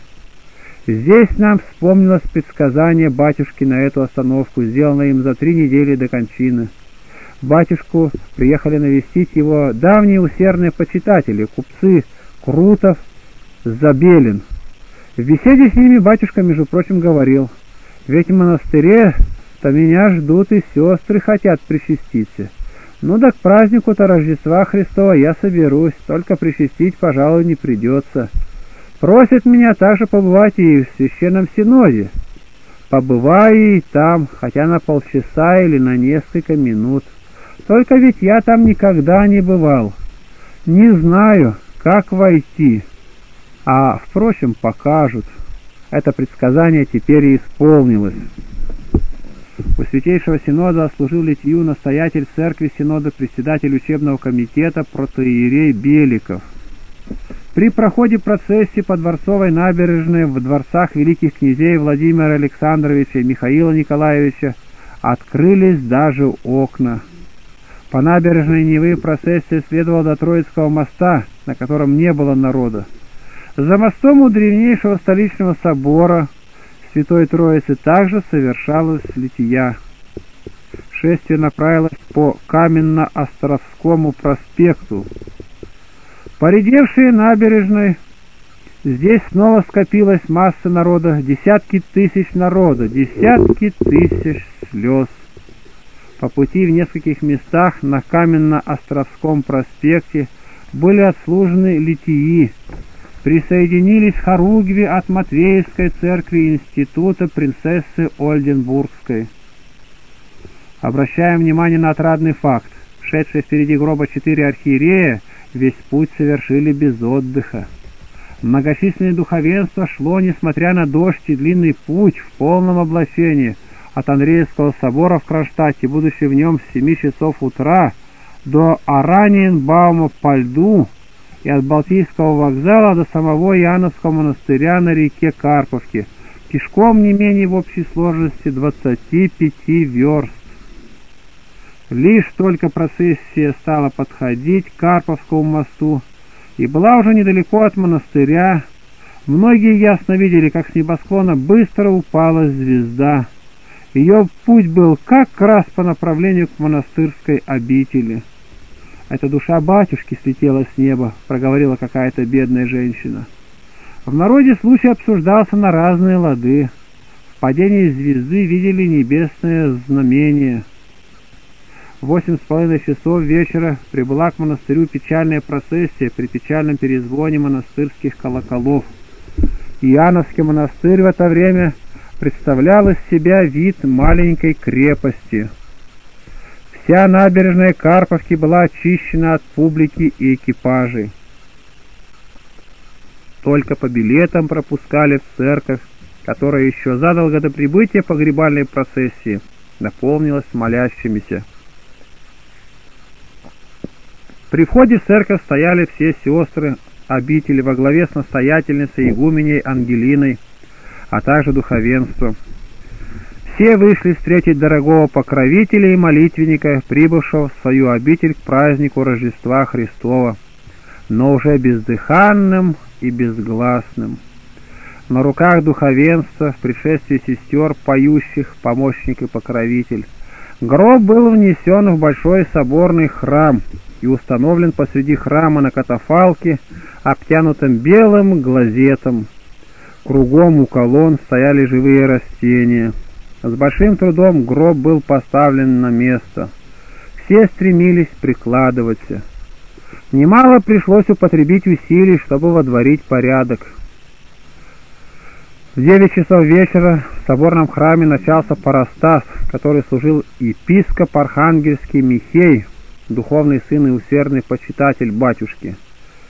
В служении участвовало до сорока священников и диаконов. Величественно и трогательно было это богослужение, особенно в те минуты, когда пели все священнослужители, собравшиеся в купе, движением горячей любви и усердного почитания к новоприставленному отцу протоиерею Иоанну. В двенадцать часов ночи окончилось богослужение, и тотчас начался впуск по очереди всех желающих проститься с дорогим батюшкой. Первыми подходили сестры, обливаясь горючими слезами. Можно ли изобразить их душевное состояние при этом последнем целовании? Они прощались с тем, кто был им ближе отца родного. Он принял их в обитель. Большинство жителей в бедности и в суровой обстановке. Батюшка их пригрел, во всем помогал, учил их, руководил, питал телесно и духовно. После сестер подходили миряне. Много прошло их, целуя истощенную десницу досточтимого пастыря, но еще более осталось таких, которым не удалось исполнить страстного желания проститься с батюшкой. В шесть часов доступ к гробу был прекращен. В это время в церкви усыпальницы началась ранняя литургия, которую совершал архимандрит Игнатий при участии многих других священников. В соборном храме необходимо было прибраться и приготовиться к литургии и отпеванию. Около гроба всю ночь продолжалось чтение священно святого Евангелия, и непрерывно служились панихиды. Многие, приложившись к руке батюшки, зажигали свечу, которую уносили себе на память. В восемь с половиной часов утра начался благовест к поздней литургии.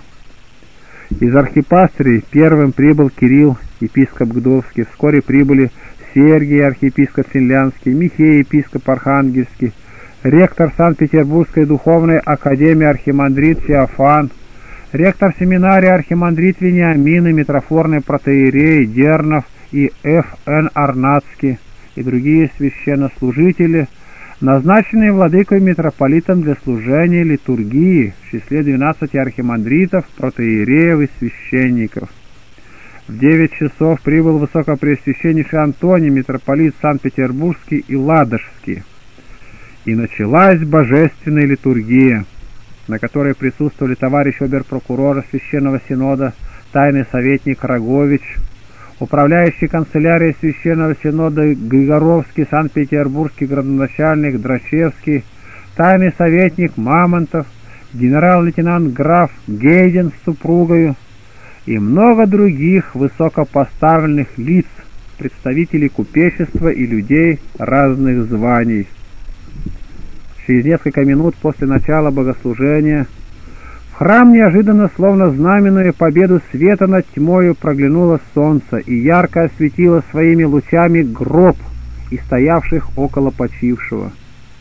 В конце литургии председатель общества ратмистр религиозно-нравственного просвещения прото и распространения религиозно-нравственного просвещения протоиерей Арнацкий с благословением владыки митрополита произнес прочувственную назидательную речь.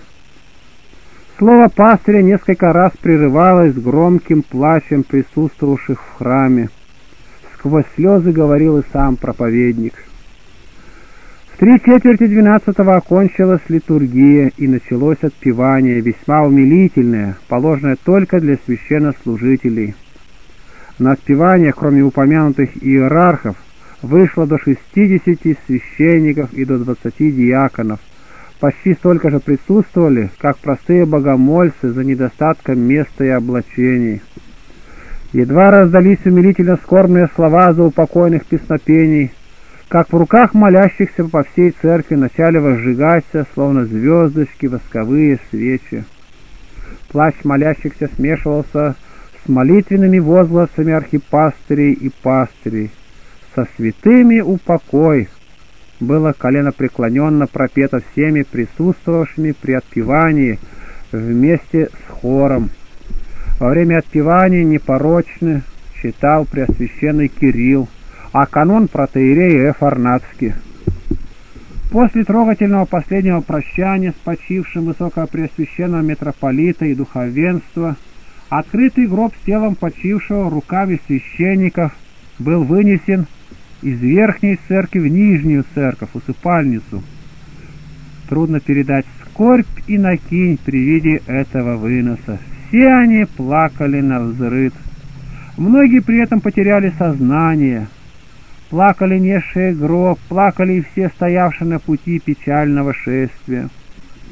Много горьких слез пролилось и в самых отдаленных местечках России при вести о кончине преснопамятного пастыря. Лицо почившего, как священнослужителя, было закрыто воздухом, но возлагавший венчик на чело почившего — Священник, духовник отца Иоанна говорил нам, что лицо, как и при кончине, совершено, совершенно покойное. Глаза приоткрылись, и зрачки устремлены вверх, как бы умолящегося. Это чувство живой связи и неразрывности единения в любви и вере с дорогим покойником еще осязательнее напечатлевалось сердце там, в нижнем храме у мраморной гробницы, куда опущен гроб с остатками дорогого батюшки в 2 часа 15 минут 23 декабря. Делаем краткое описание храма усыпальницы. Вход в усыпальницу ведет из главного вестибюля направо по коридору, не доходя до дверей церкви преподобного Иоанна Рыльского. От небольшой площадки, на которой устроена продажа свечей, идет широкая лестница в 16-18 ступеней вниз – Здесь, в подземелье, под могучими сводами, поддерживающими все колоссальное здание храма, построен чудный по красоте храм. Все стены, столбы, колонны и потолки покрыты полированными плитами белого мрамора или сделаны под мрамор. Храм невелик, занимает всего 35-40 квадратных сажен и очень низок, всего около трех аршин. В самых высоких местах. Иконостас весь высечен из белого мрамора с чудной отделкой, выдержанной в русско-византийском стиле. Масса электрических лампочек заливает светом весь храм, отражаясь в белоснежных мраморных стенах. Этот храм, как и весь монастырь, построен по плану и указаниям архитектора Никонова. Мраморные работы производил Баринов, а все иконы писаны известным художником Федором Кирилловичем Платоновым. Пред иконостасом с правой стороны находится гробница отца Иоанна. Стены и пол могилы состоят из сплошных цельных плит белого мрамора. За плитами мрамора сплошной каркас из толстого котельного железа. Стены могилы возвышаются над полом храма на поларшина, они тоже обложены мрамором. На дно могилы посыпано надо вершка мелкого песку, и на песок поставлен гроб. Гроб не, закрыт, не зарыт в землю, а покрыт только массивной мраморной плитой. Храм усыпальницы освящен, как уже сказано, 21 декабря во имя святого пророка Илии и святой царицы Феодоры, имени отца и матери батюшки. В этом чудном белом и светлом храме, соответствующей светлой личности дорогого батюшки, он теперь и почивает мирным сном. С первого же дня после погребения сюда началось настоящее паломничество петербургских жителей и многих приезжих богомольцев. Уже с утра по малолюдной Карповской набережной от Каменно-Островского проспекта к монастырю Ежедневно начинается оживленное движение, то и дело проезжают кареты, извозчики, простой народ идет пешком, группами. В усыпальнице с утра до вечера непрерывно совершается служение панихид у гробницы. Пение хора монахинь прекрасное. Тысячи богомольцев идут к гробику батюшки, как бы к живому своему утешителю, целителю и наставнику идут не только для того, чтобы вознести молитвы об упокоении его чистой души вместе Светлей, вместе с Злачней, вместе покойней, в недрах Авраама, Исаака и Якова, но и себе чают получить здесь утешение Христова и избавиться от всякой скорби, гнева и нужды. Это вполне понятно. Изумительная деятельность отца Иоанна Кронштадтского давно уже привлекла к нему обширную общую любовь, и распространила известность о нем, о его доброте и силе его молитвы во всех слоях населения от царских палат до убогих углов бедноты. Сам глубоко верующий, батюшка имел великий дар от Бога укреплять в людях веру, окрылять надежду. Молитва его ставила на ноги и исцеляла часто таких больных, которым врачи не могли оказать уже никакой помощи. Многочисленные случаи исцеления по молитвам отца Иоанна сделались общеизвестными и засвидетельствованы в печати. Имя почившего, как чудесного духовного врача, собирало в Кронштадт отовсюду неисчислимое множество богомольцев.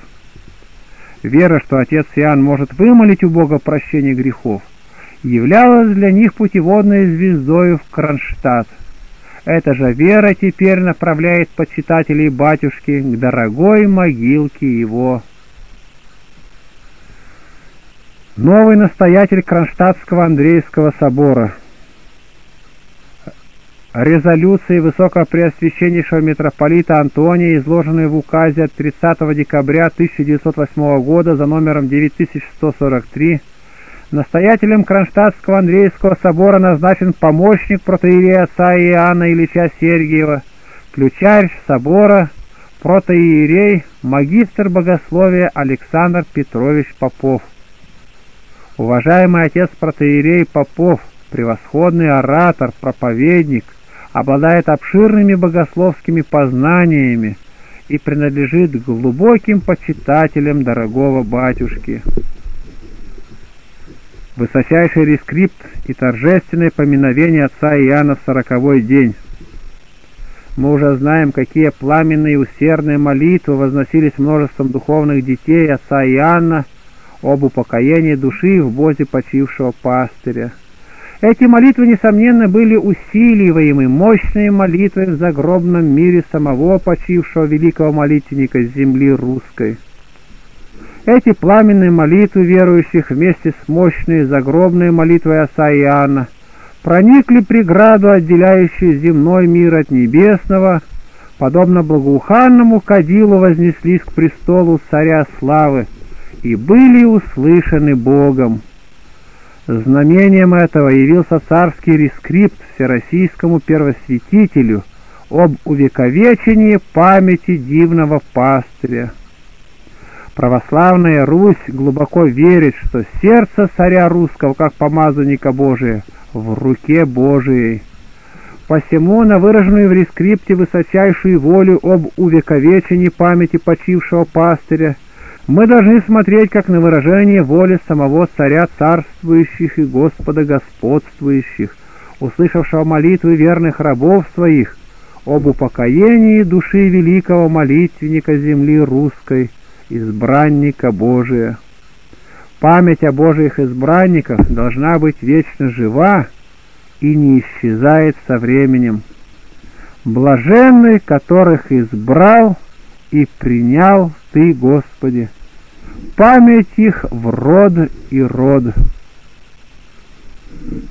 Высочайший рескрипт, Преосвященный митрополит, митрополит Санкт-Петербургский Антоний – Неисповедимому промыслу Божию было угодно, чтобы угас великий светильник Церкви Христовой и молитвенник земли русской, всенародно чтимый пастырь и праведник, отец Иоанн Кронштадтский. Всем сердцем разделяя великую скорбь народную о кончине любвеобильного пастыря и благотворителя, мы с особенным чувством обновляем в памяти нашей скорбные дни предсмертного недуга в бозе почивающего родителя нашего, императора Александра Третьего, когда угасающий царь, любимый народом, пожелал молитв и близости любимого народом молитвенника за царя и отечество. Ныне вместе с возлюбленным народом нашим, утратив возлюбленного молитвенника нашего, мы проникаемся непременным желанием дать достойное выражение сей совместной скорби нашей с народом молитвенным, поминовением почившего, ежегодно ознаменовывая им день кончины отца Иоанна, а в нынешнем году приурочив он к сороковому дню оплакиваемого события. Будучи по собственному душевному влечению нашему и по силе основных законов первым блюстителем в Отечестве наших, нашим интересов и нужд Церкви Христовой, мы со всеми верными и любящими сынами ее ожидаем, что Святейший Синод, став во главе всего начинания, внесет свет утешения в горе народное и зародит на вечные времена живой источник вдохновения будущих служителей и предстоятелей алтаря Христова на святые подвиги многотрудного пасторского делания. Поручая себя молитвам вашим, пребываем к вам благосклонны. На подлинном собственную его императорского величества рукой начертано Николай. Царское село 12 января 1909 года. Определение Святейшего Синода от 15 января 1909 года по высочайшему рескрипту на имя Преосвященного митрополита Санкт-Петербургского по поводу кончины протоиерея Иоанна Ильича Сергиева. По указу его императорского величества святейший правительствующий синод слушали представленный преосвященным митрополитом Санкт-Петербургским Антонием, данный на его имя в 12 день всего января, высочайший рескрипт его императорского величества по поводу кончины протоиерея Иоанна Ильича Сергиева, приказали, выслушав представленный преосвященным митрополитом Санкт-Петербургским Антонием, данный на его имя высочайший рескрипт его императорского величества по поводу кончины протоиерея Иоанна Ильича Сергиева, и озабочиваясь достойным ознаменованием памяти этого великого светильника Церкви Христовой и молитвенника земли русской, Святейший Синод определяет напечатать означенный высочайший рескрипт в номере третьем церковных ведомостей текущего года – поручить присутствующим в Святейшем Синоде Преосвященным митрополитам Санкт-Петербургскому, Московскому и Киевскому сороковой день по кончине отца Иоанна 28 всего января совершить в Яно-Богословском города Санкт-Петербурга женском монастыре в месте погребения почившего за упокойную литургию, а после оны, по прочтению высочайшего рескрипта, полным составом Святейшего Синода панихиду по усопшим. Таковые же литургии панихидов должны быть совершены архиерейским служением и во всех соборах городов Санкт-Петербурга, Москвы и Киева. Предписать епархиальным преосвященным, протопресвитеру военного морского духовенства и заведующему придворным духовенством – сделать распоряжение о совершении в 28-й день всего января за упокойной литургии и панихиды по усопшим. Отце Иоанне по всем под, подведомым им церквам, а равно в церквах духовно-учебных заведений и церковных школ, с произнесением за литургию соответствующего поминаемому событию поучения и с прочтением церковного амвона – перед совершением панихиды, означено высочайшего рескрипта, освободив на сей день учащихся названных заведений и школ от занятий. По кафедральным же соборам таковые богослужения должны быть совершены архиерейским служением.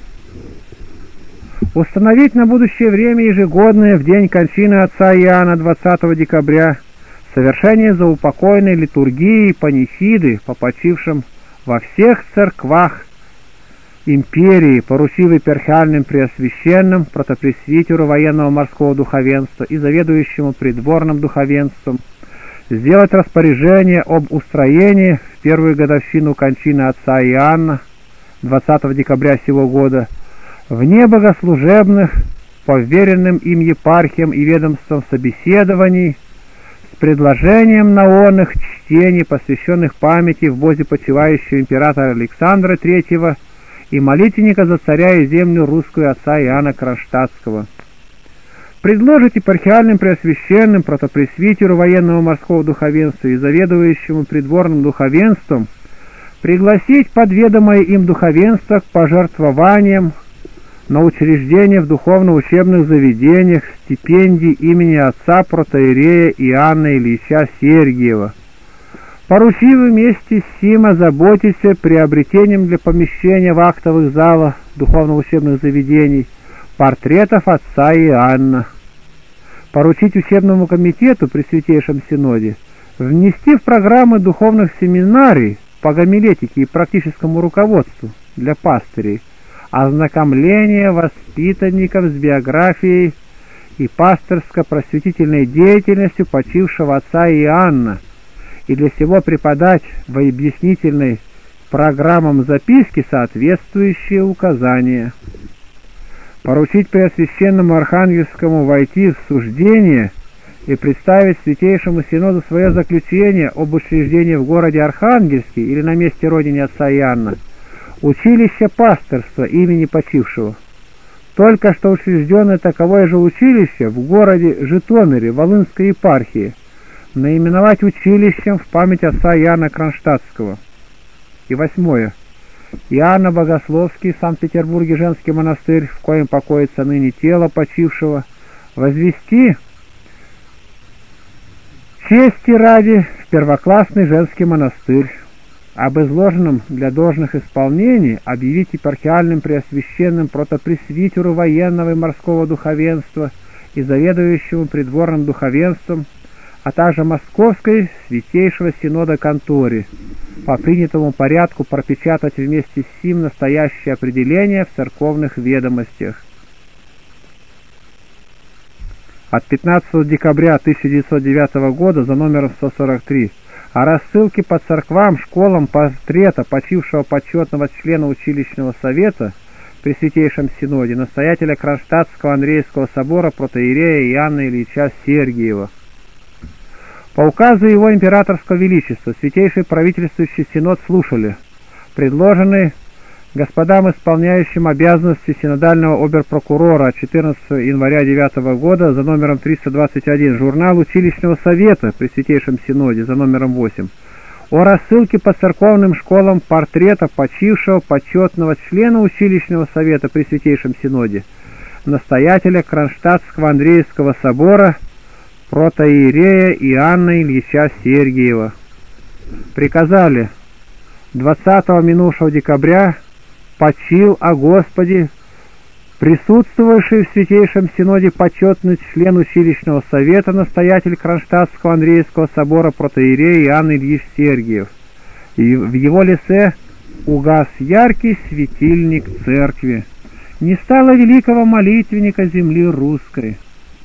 Он всего себя отдал на служение святой церкви, дорогой Родины, всем скорбящим и страждущим. Благотворное пасторское влияние его простиралось на всю Россию и даже за ее пределы. Весь русский православный народ чтил отца Иоанна как праведника, верил в его молитвы и предстательство пред Богом.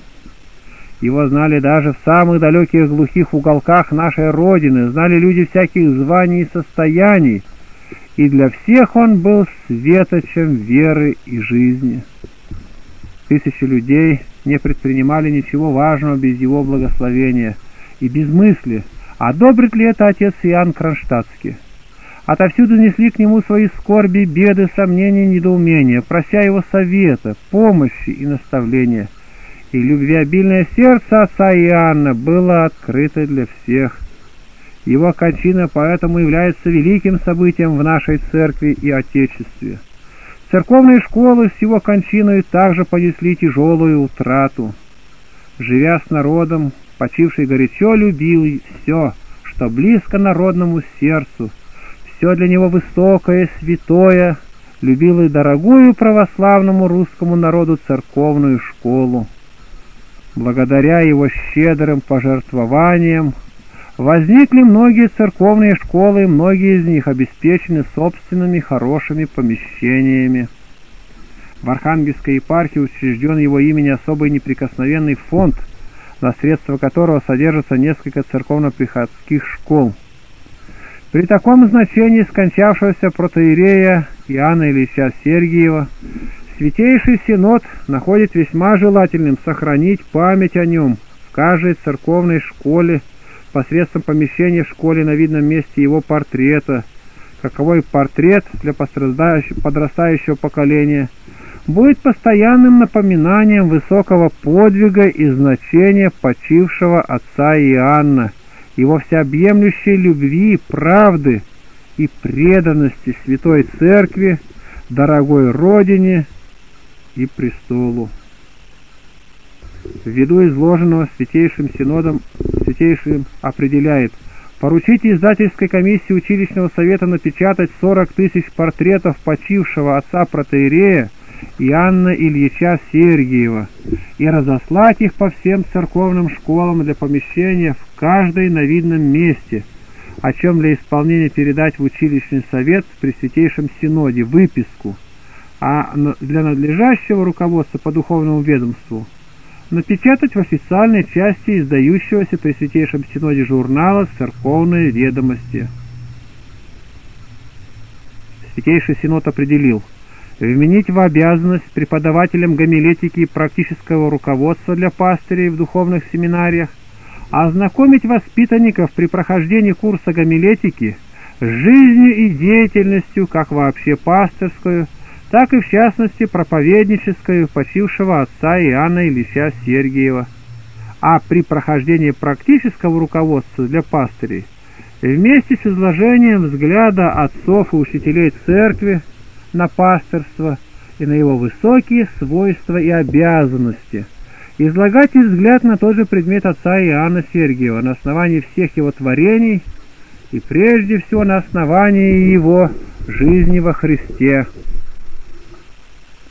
в исполнении высочайшей воли, выраженной в высочайшем рескрипте на имя Преосвященного митрополита Санкт-Петербургского 12 минувшего января о необходимости сделать память об отце Иоанне Кронштадтском источником одушевления для будущих пастырей и в целях возможного широкого распространения среди народа назидательных сочинений почившего пастыря.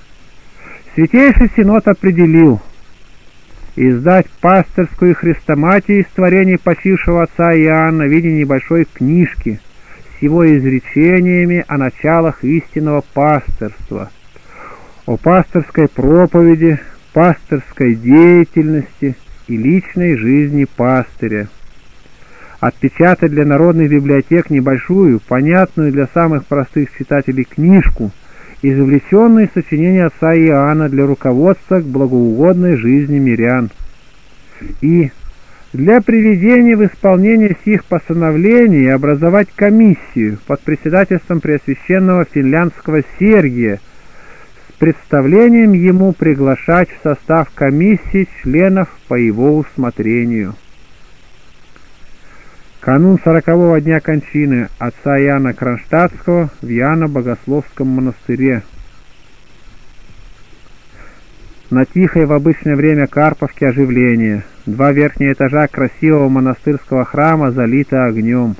Около монастыря съезд экипажей. В главной церкви торжественный парастас по в бозе почившем преснопамятном отце Иоанне Кронштадтском.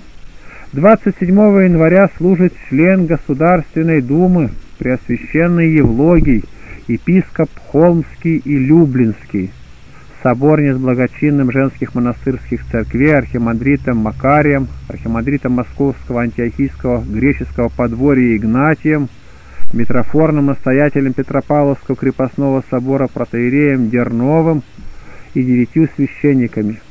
Пели сестры обители.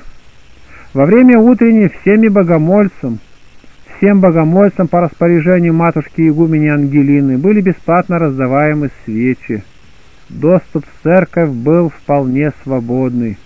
Внизу в склепе беспрерывно служились панихиды около гробницы всемирного молитвенника отца Иоанна Кронштадтского. Народ непрерывной лентой шел к его гробнице.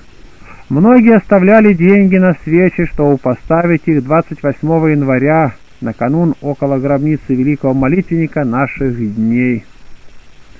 Немало богомольцев просили, чтобы их заупокойные записки были прочитаны лишь сегодня – во время общих панихид. На могилу привозилось много живых цветов. На торжественную литургию, ввиду небольшого сравнительно размера церкви, доступ был только по билетам. По окончании панихиду, которые совершали митрополиты, Санкт-Петербургский и Ладожский Антоний, Московский и Коломенский Владимир и Киевский и Галицкий Флавиан, в сослужении членов Святейшего Синода, был обычный доступ публики к усыпальнице. 28 января исполнилось 40 дней, как в Бозе почил великий праведник-чудотворец и всемирный молитвенник, всенародно чтимый митрофорный протоиерей, отец Иоанн Ильич Сергиев Кронштадтский. Прошло сорок дней, а память общества о великом подвижнике веры и молитвы не только не угасла, но все более и более крепнет. Почитатели преснопамятного протоиерея с утра убрали его гробницу живыми цветами. Около гробницы образовался целый лес из хризантем. Церковь-склеп наполнилась ароматом душистых цветов. Раннюю литургию в церкви в склепе совершили митрофорный протеерей, настоятель собора Петропавловской крепости, отец Дернов, благочинный монастырей, отец архимандрит Макарий и другое духовенство. Заупокойная литургия закончилась панихидой. Затем начались обычные панихиды по незабвенном великом праведнике, дорогом батюшке отце Иоанне. Народ пошел непрерывной чередой. Когда наступило время поздней литургии, церковь обители стали впускать только по билетам. 28 января, в сороковой день кончины великого молитвенника, митрофорного протеерея дорогого батюшки отца Иоанна Кронштадтского, церкви Александровского царско-сельского дворца, в высочайшем их императорских величеств присутствии в два с половиной часа дня была совершена панихида. Сороковой день по кончине отца Иоанна явился по преимуществу днем скорби и плача для города Кронштадта, с которым почивший сроднился, и где протекли все 53 года его пастырского служения. За упокойное богослужение в этот день здесь собор не совершал Преосвященный Владимир, епископ Кронштадтский. Накануне владыкой в Андреевском соборе была отслужена заупокойная всеночная парастас и 28 января по сослужении соборного притча, сослужения местного и прежнего духовенства совершена заупокойная литургия и панихида, на которой вышло духовенство всех кронштадтских церквей. Умилительные песнопения панихиды с одушевлением исполнялись соединенным хором певчих всех церквей города – в тот же день духовенством Андреевского собора и кладбищенской церкви была отслужена панихида и по матери отца Иоанна, старицы Феодоре, высыпальницы ее на Троицком кладбище Кронштадта. Все кронштадтские бедняки в сороковой день по кончине отца Иоанна были щедро отделены милостынею и накормлены обедом на средства города, соборного старосты Маркова и некоторых частных благотворителей. В основанном отцом Яном доме трудолюбия была устроена поминальная трапеза для бедных за упокой души почившего. Всех обедов в Кронштадте в этот день было отпущено более пяти тысяч. 28 января столица, с ней вся святая православная Россия молитвенно вспомянула незабвенного кронштадтского пастыря, митрофорного протеерея Иоанна Ильича Сергиева по случаю сорокового дня со времени его кончины.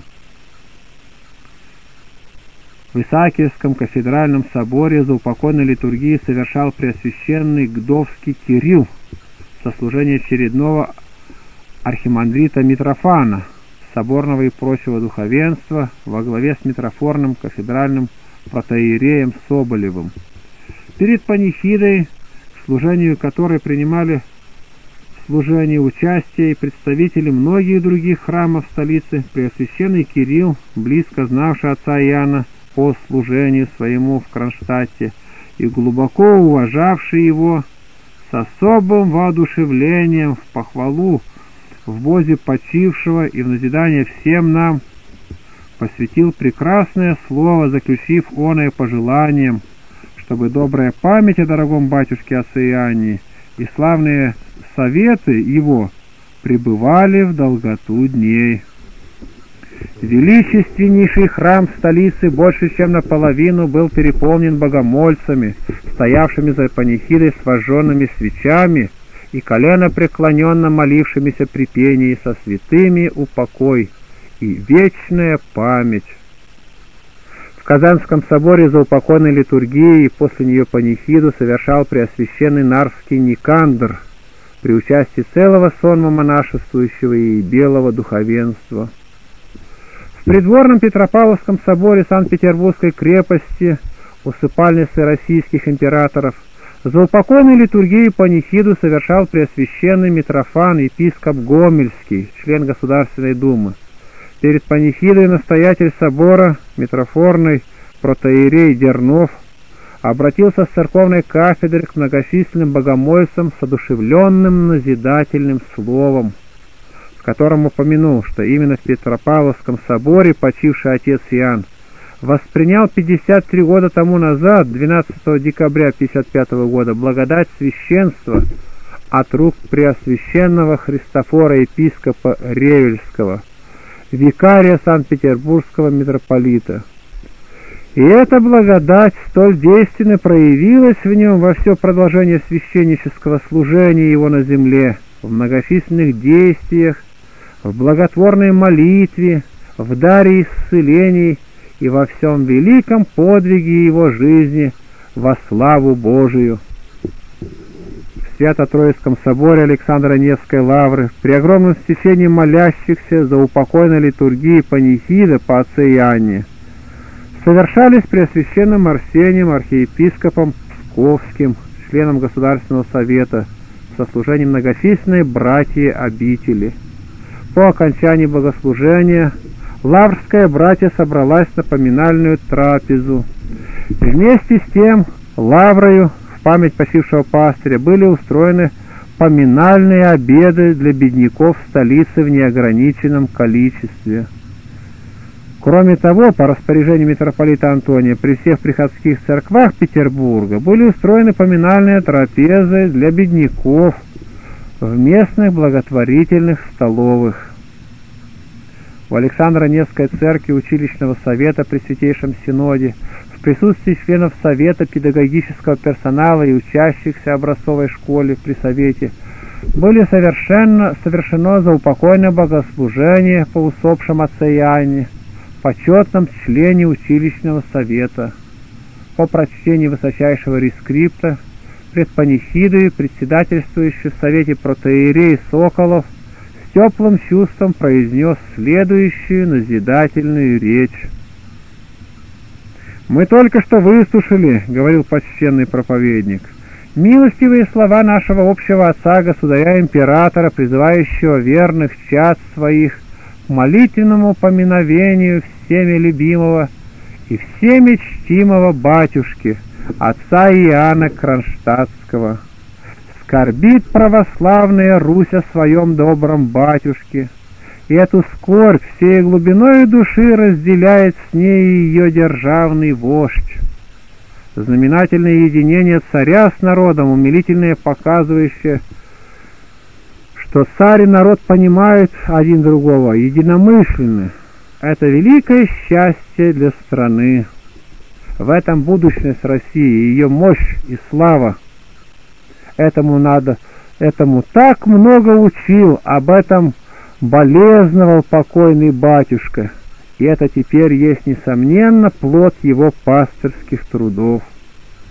Из ветхозаветной истории мы знаем, что когда народ еврейский забывал Бога, переставал слушать все его велений, жил не по заповедям Божиим, а по влечениям своих страстей, Господь лишал его своего покровительства, отнимал у него святых пророков. Господь в таких случаях поступал с непослушным народом так, как делают благочестивые родители с упрямыми непокорными детьми. Предоставляют их самим себе, дабы на собственном опыте познали, как многоценны помощь и попечение родительские. Не то же ли, братья, происходит теперь с нами? Не наши ли грехи, не наше ли неверие слушание повинны в том, что Господь взял от нас одного за другим светильников веры и благочестия, был у нас батюшка отец Амвросий Оптинский, который своим, Богом данным ему даром прозрения, многие тысячи людей отвратил от роковых ошибок, бед и несчастий. Был богомудрый затворник Вышинский епископ Феофан. Он своими сочинениями и своей перепиской с тысячами людей светил на всю Россию, учил, наставлял и укреплял в вере и праведной жизни.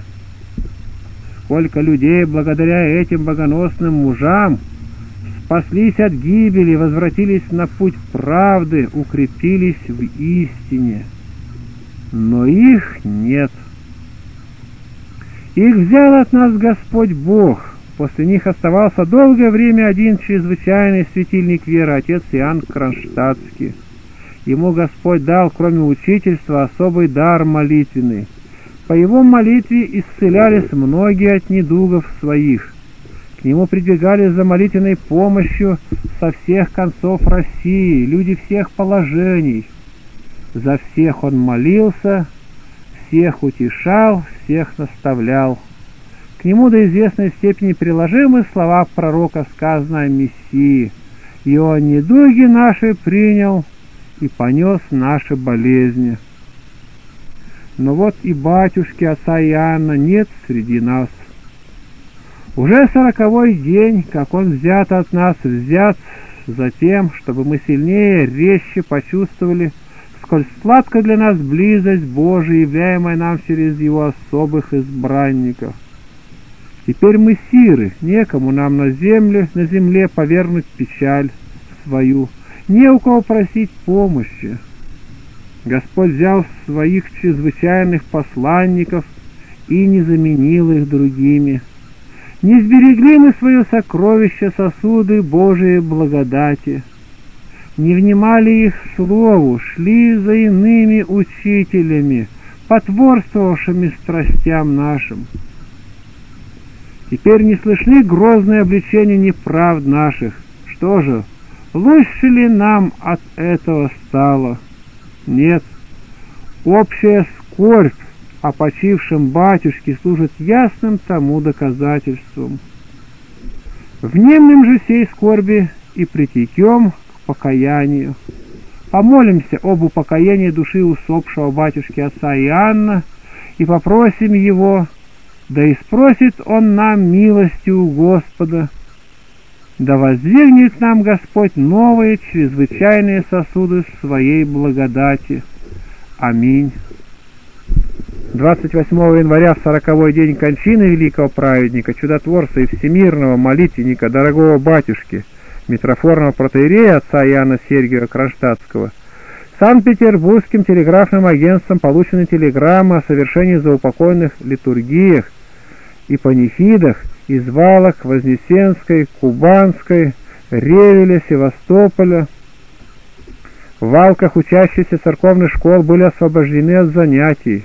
В Ставрополе были освобождены от занятий служащие в губернских учреждениях и учащиеся. Симферополе и Уфе на заупокойных богослужениях присутствовали учащиеся начальных и среднеучебных заведений. В Туле, в зале городской управы, происходило общее собрание просветительного братства имени Иоанна Предтечи, посвященное памяти великого праведника, дорогого батюшки, отца Иоанна Кронштадтского. В Бозе почивший всероссийский молитвенник отец Иоанн Кронштадтский особенно любил родное село Суру Пинежского уезда Архангельской епархии и своих земляков. Почти ежегодно посещал он свою далекую родину и всячески заботился о благосостоянии сродичей своих, основав здесь женскую обитель во имя святого отца святого Иоанна Богослова.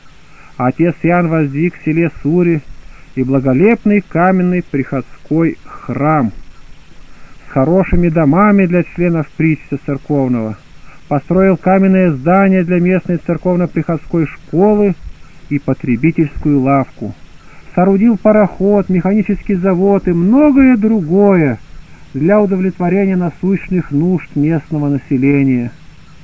Кроме того, любвеобильный пастырь щедрой рукой раздавал денежные пособия крестьянам Сурской волости на обсеменение полей, при выдаче их дочерей в замужество, на постройку домов после пожара и на другие нужды в бедном сельском быту. Трогательно было выражение скорби земляков отца Иоанна в сороковой день по кончине, всею Россией оплаканного пастыря-праведника — 28 января 1909 года. Молитвенное поминовение отца Иоанна совершалось в соборе Сурской обители, где торжественную заупокойную литургии служило совместно монастырское и приходское духовенство. Обширный храм был переполнен богомольцами. Часть их стояла и под открытым, под открытым небом. После литургии в храме Самвона был прочитан высочайший рескрипт об увековечении светлой памяти отца Иоанна, и вслед за тем духовенство, сестры обители с игуменей Порфирию во главе, и все многочисленные богомольцы все с крестным ходом и пением семнадцатой кафизмы двинулись к тому домику, в котором родился в семье бедного причетника и вырос отец Иоанн и который представлял собою обыкновенную курную крестьянскую избу. В крестном ходе были несены духовенством наперстные кресты и митра отца Иоанна, еще при жизни подаренные им на память своей обители. Здесь-то в родном отцу Иоанну домике особенно трогательно звучали церковные молитвы о вселении некогда тут обитавшего новоприставленного протоиерея Иоанна во дворы Господни. 5 февраля, в день памяти святителя Феодосия, Черниговского чудотворца, ранней литургии в церкви склепе Иоанновского монастыря на Карповке совершал член Санкт-Петербургского духовного цензурного комитета архимандрит Александр. После литургии архимандритом Александром было произнесено слово, в котором проповедник, вспоминая подвиги празднуемого в этот день святителя Феодосия, ревностного борца за православие от натисков католичества в смутное время России, угодившего Богу подвигами и прославленного даром чудотворений, сопоставил жизнь и деятельность всего угодника Божией жизнью и деятельностью в Бозе почившего пастыря отца Иоанна, тоже ревностно оберегавшего православие от нападений еретиков и сектантов – смутную годину России, просиявшего великими молитвенными подвигами и прославившегося чудотворным даром целить недуги душевные и телесные всех верою притекающих к нему. По окончании литургии архимандритом Александром при участии сослужившего ему духовенства над гробницей дорогого батюшки была совершена панихида — Церковь-усыпальница была переполнена молящимися. Служение единоверцев. 5 февраля в Яновском женском монастыре поздней литургии совершил Преосвященный Гдовский Кирилл с единоверцами всех петербургских церквей по особому единоверческому чину, на особых просфорах и по особым книгам. Как известно, Преосвященный Гдовский Кирилл состоит благочинным всех петербургских единоверческих церквей. Увековечение памяти дорогого батюшки отца Иоанна Кронштадтского в Саратовской епархии. По мысли и благословению его Преосвященства Преосвященнейшего епископа Гермогена, во всегдашнюю память всероссийского молитвенника батюшки отца Иоанна Кронштадтского Саратовской епархии открывается следующее учреждение. Казанский Иоанновский мужской общежительный скит в местности Городок, близ станции Сюзюм, Сызранской Вяземской железной дороги при селе Нижней Липовки Кузнецкого уезда, на границе Пензенской губернии, на месте пребывания чудотворной иконы Казанской Божьей Матери и целебного источника, и издавна благоговейно чтимого окружным населением. Открывается Иоанновское церковно-пасторское попечительство о бедных Саратовской епархии для оказания помощи нуждающимся как в городе Саратове, так и во всех местах губернии. Знаменитые слова о праведнике Божьем отце Иоанне Кронштадтском взяты из книги отца Иоанна Арнадского, состоящий при первоклассном Иоанновском женском монастыре отец Иоанн Арнадский пишет Царский призыв к вечному молитвенному поминовению отца Иоанна очевидно был наилучшим выражением заветного желания народной души. Вся верующая Россия давно полюбила кронштадтского пастыря, как великого светильника веры и благочестия. Многие тысячи людей всякого звания путешествовали к нему в Кронштадт, видя в нем те добродетели и совершенства, какими должен быть украшен истинный пастырь стада Христова. Но и теперь, как живой, стоит он перед взором верующих, ведь у Бога все живы, и влечет их к себе силой своего духовного обаяния и красотой святой жизни во Христе. Иоанновский монастырь после погребения в нем отца Иоанна посетило множество иерархов и священнослужителей, группами паломничали к гробу преснопамятного праведника отца Иоанна, свидетельствуют записи в книге для почетных посетителей монастыря – Пишет в своей записи Преосвященный Феофан, ректор Санкт-Петербургской духовной академии. «Господь даровал свою милость, удостоив меня совершить литургию в храме, устроенном трудами и молитвами преснопамятного и блаженного отца нашего и молитвенника, отца Иоанна Кронштадтского. Молю Господа, да не оскудевает никогда дух святой ревности в пастырях Церкви Христовой, и во всех верных сынах Церкви Православной, дух, которым непрестанно горел этот великий светильник. Благословение Божие да пребывает всегда на обители святой, в которой почивают мощи праведника. Исцеление по молитве отца Иоанна Кронштадтского. В Гатчине, Петроградской губернии, умирала дочь состоятельных родителей – получившие воспаление легких от сильной простуды.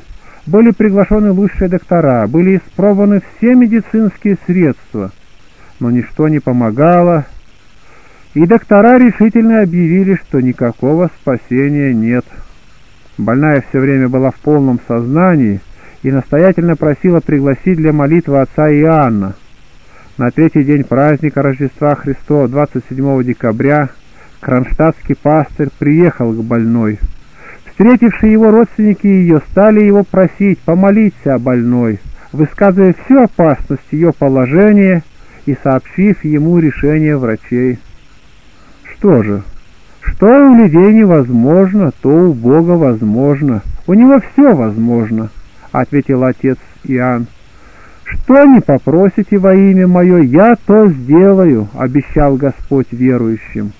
Он и сына сотника, и тещу апостола Петра исцелил. Помолимся. По вере, по мере веры вашей, исцелится и ваша больная. Затем и отец Иоанн прямо направляется в комнату больной. Точно он раньше несколько раз бывал в этой квартире. Подойдя к больной, взглянув на нее своим добрым взглядом, благостный пастырь твердо произнес «Мужайтесь и молитесь». Со слезами надежды больная стала повторять вместе с отцом Иоанном слова молитвы, чувствуя, как будто новая сила вливается в ее ослабевшие члены. Окончив молитву, отец Иоанн после нескольких слов утешения и ободрения благословил больную и пожелал ей скорого, полного выздоровления. На другой же день она почувствовала облегчение, а в Новый год встала с постели и в крещение поехала уже в Кронштадт благодарить своего исцелителя за свое полное и чудесное исцеление. Так, силою веры и молитвы великого чудотворца, батюшки Иоанна, больная, приговоренная докторами к смерти, была возвращена к жизни уже от самых врат смертных. Русский паломник, 1914 год, номер 48. Чудесное исцеление у гробницы отца Иоанна Кронштадтского. Гробница великого молитвенника земли русской уже начала озаряться лучами его загробного прославления многочисленными чудесами. Уже целая литература существует относительно этих чудес, и мы здесь из многого упомянем лишь немногое.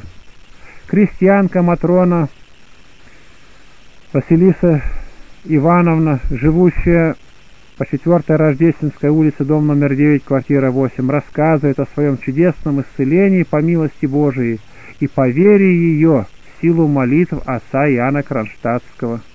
Десять лет тому назад Иванова заболела ревматизмом, болели обе руки, особенно же левая, так что больная не только не могла работать, но лежа в постели иногда не могла сама покрыть себя одеялом. К этому присоединились страшные боли. За эти десять лет Иванова обращалась ко многим докторам. В Георгиевской общине сестер Милосердия к известному доктору Соколову, в Троицкой общине к доктору Баженову, в Мариинскую больницу, где пользовалась массажем. Врачи прописывали лекарства для втирания и внутреннего приема. Доктор Соколов советовал, кроме того, ванны. Но помощи от лечения не замечалось. Иногда боли затихали, но не только работать, а и двигать руками и пальцами больная могла лишь с большим усилием. Доктора утверждали, что ревматизмом поражены суставы костей, и что болезнь стала неизлечимой. Так продолжалось до нынешнего года. На масляной неделе, рассказывает Иванова, я видела такой сон. Вблизи нашего дома стоит карета, и около нее толпится народ. Я спросила, что такое? Говорят, здесь батюшка, отец Иоанн Кронштадтский. Вижу, что действительно в карету сел батюшка и поехал.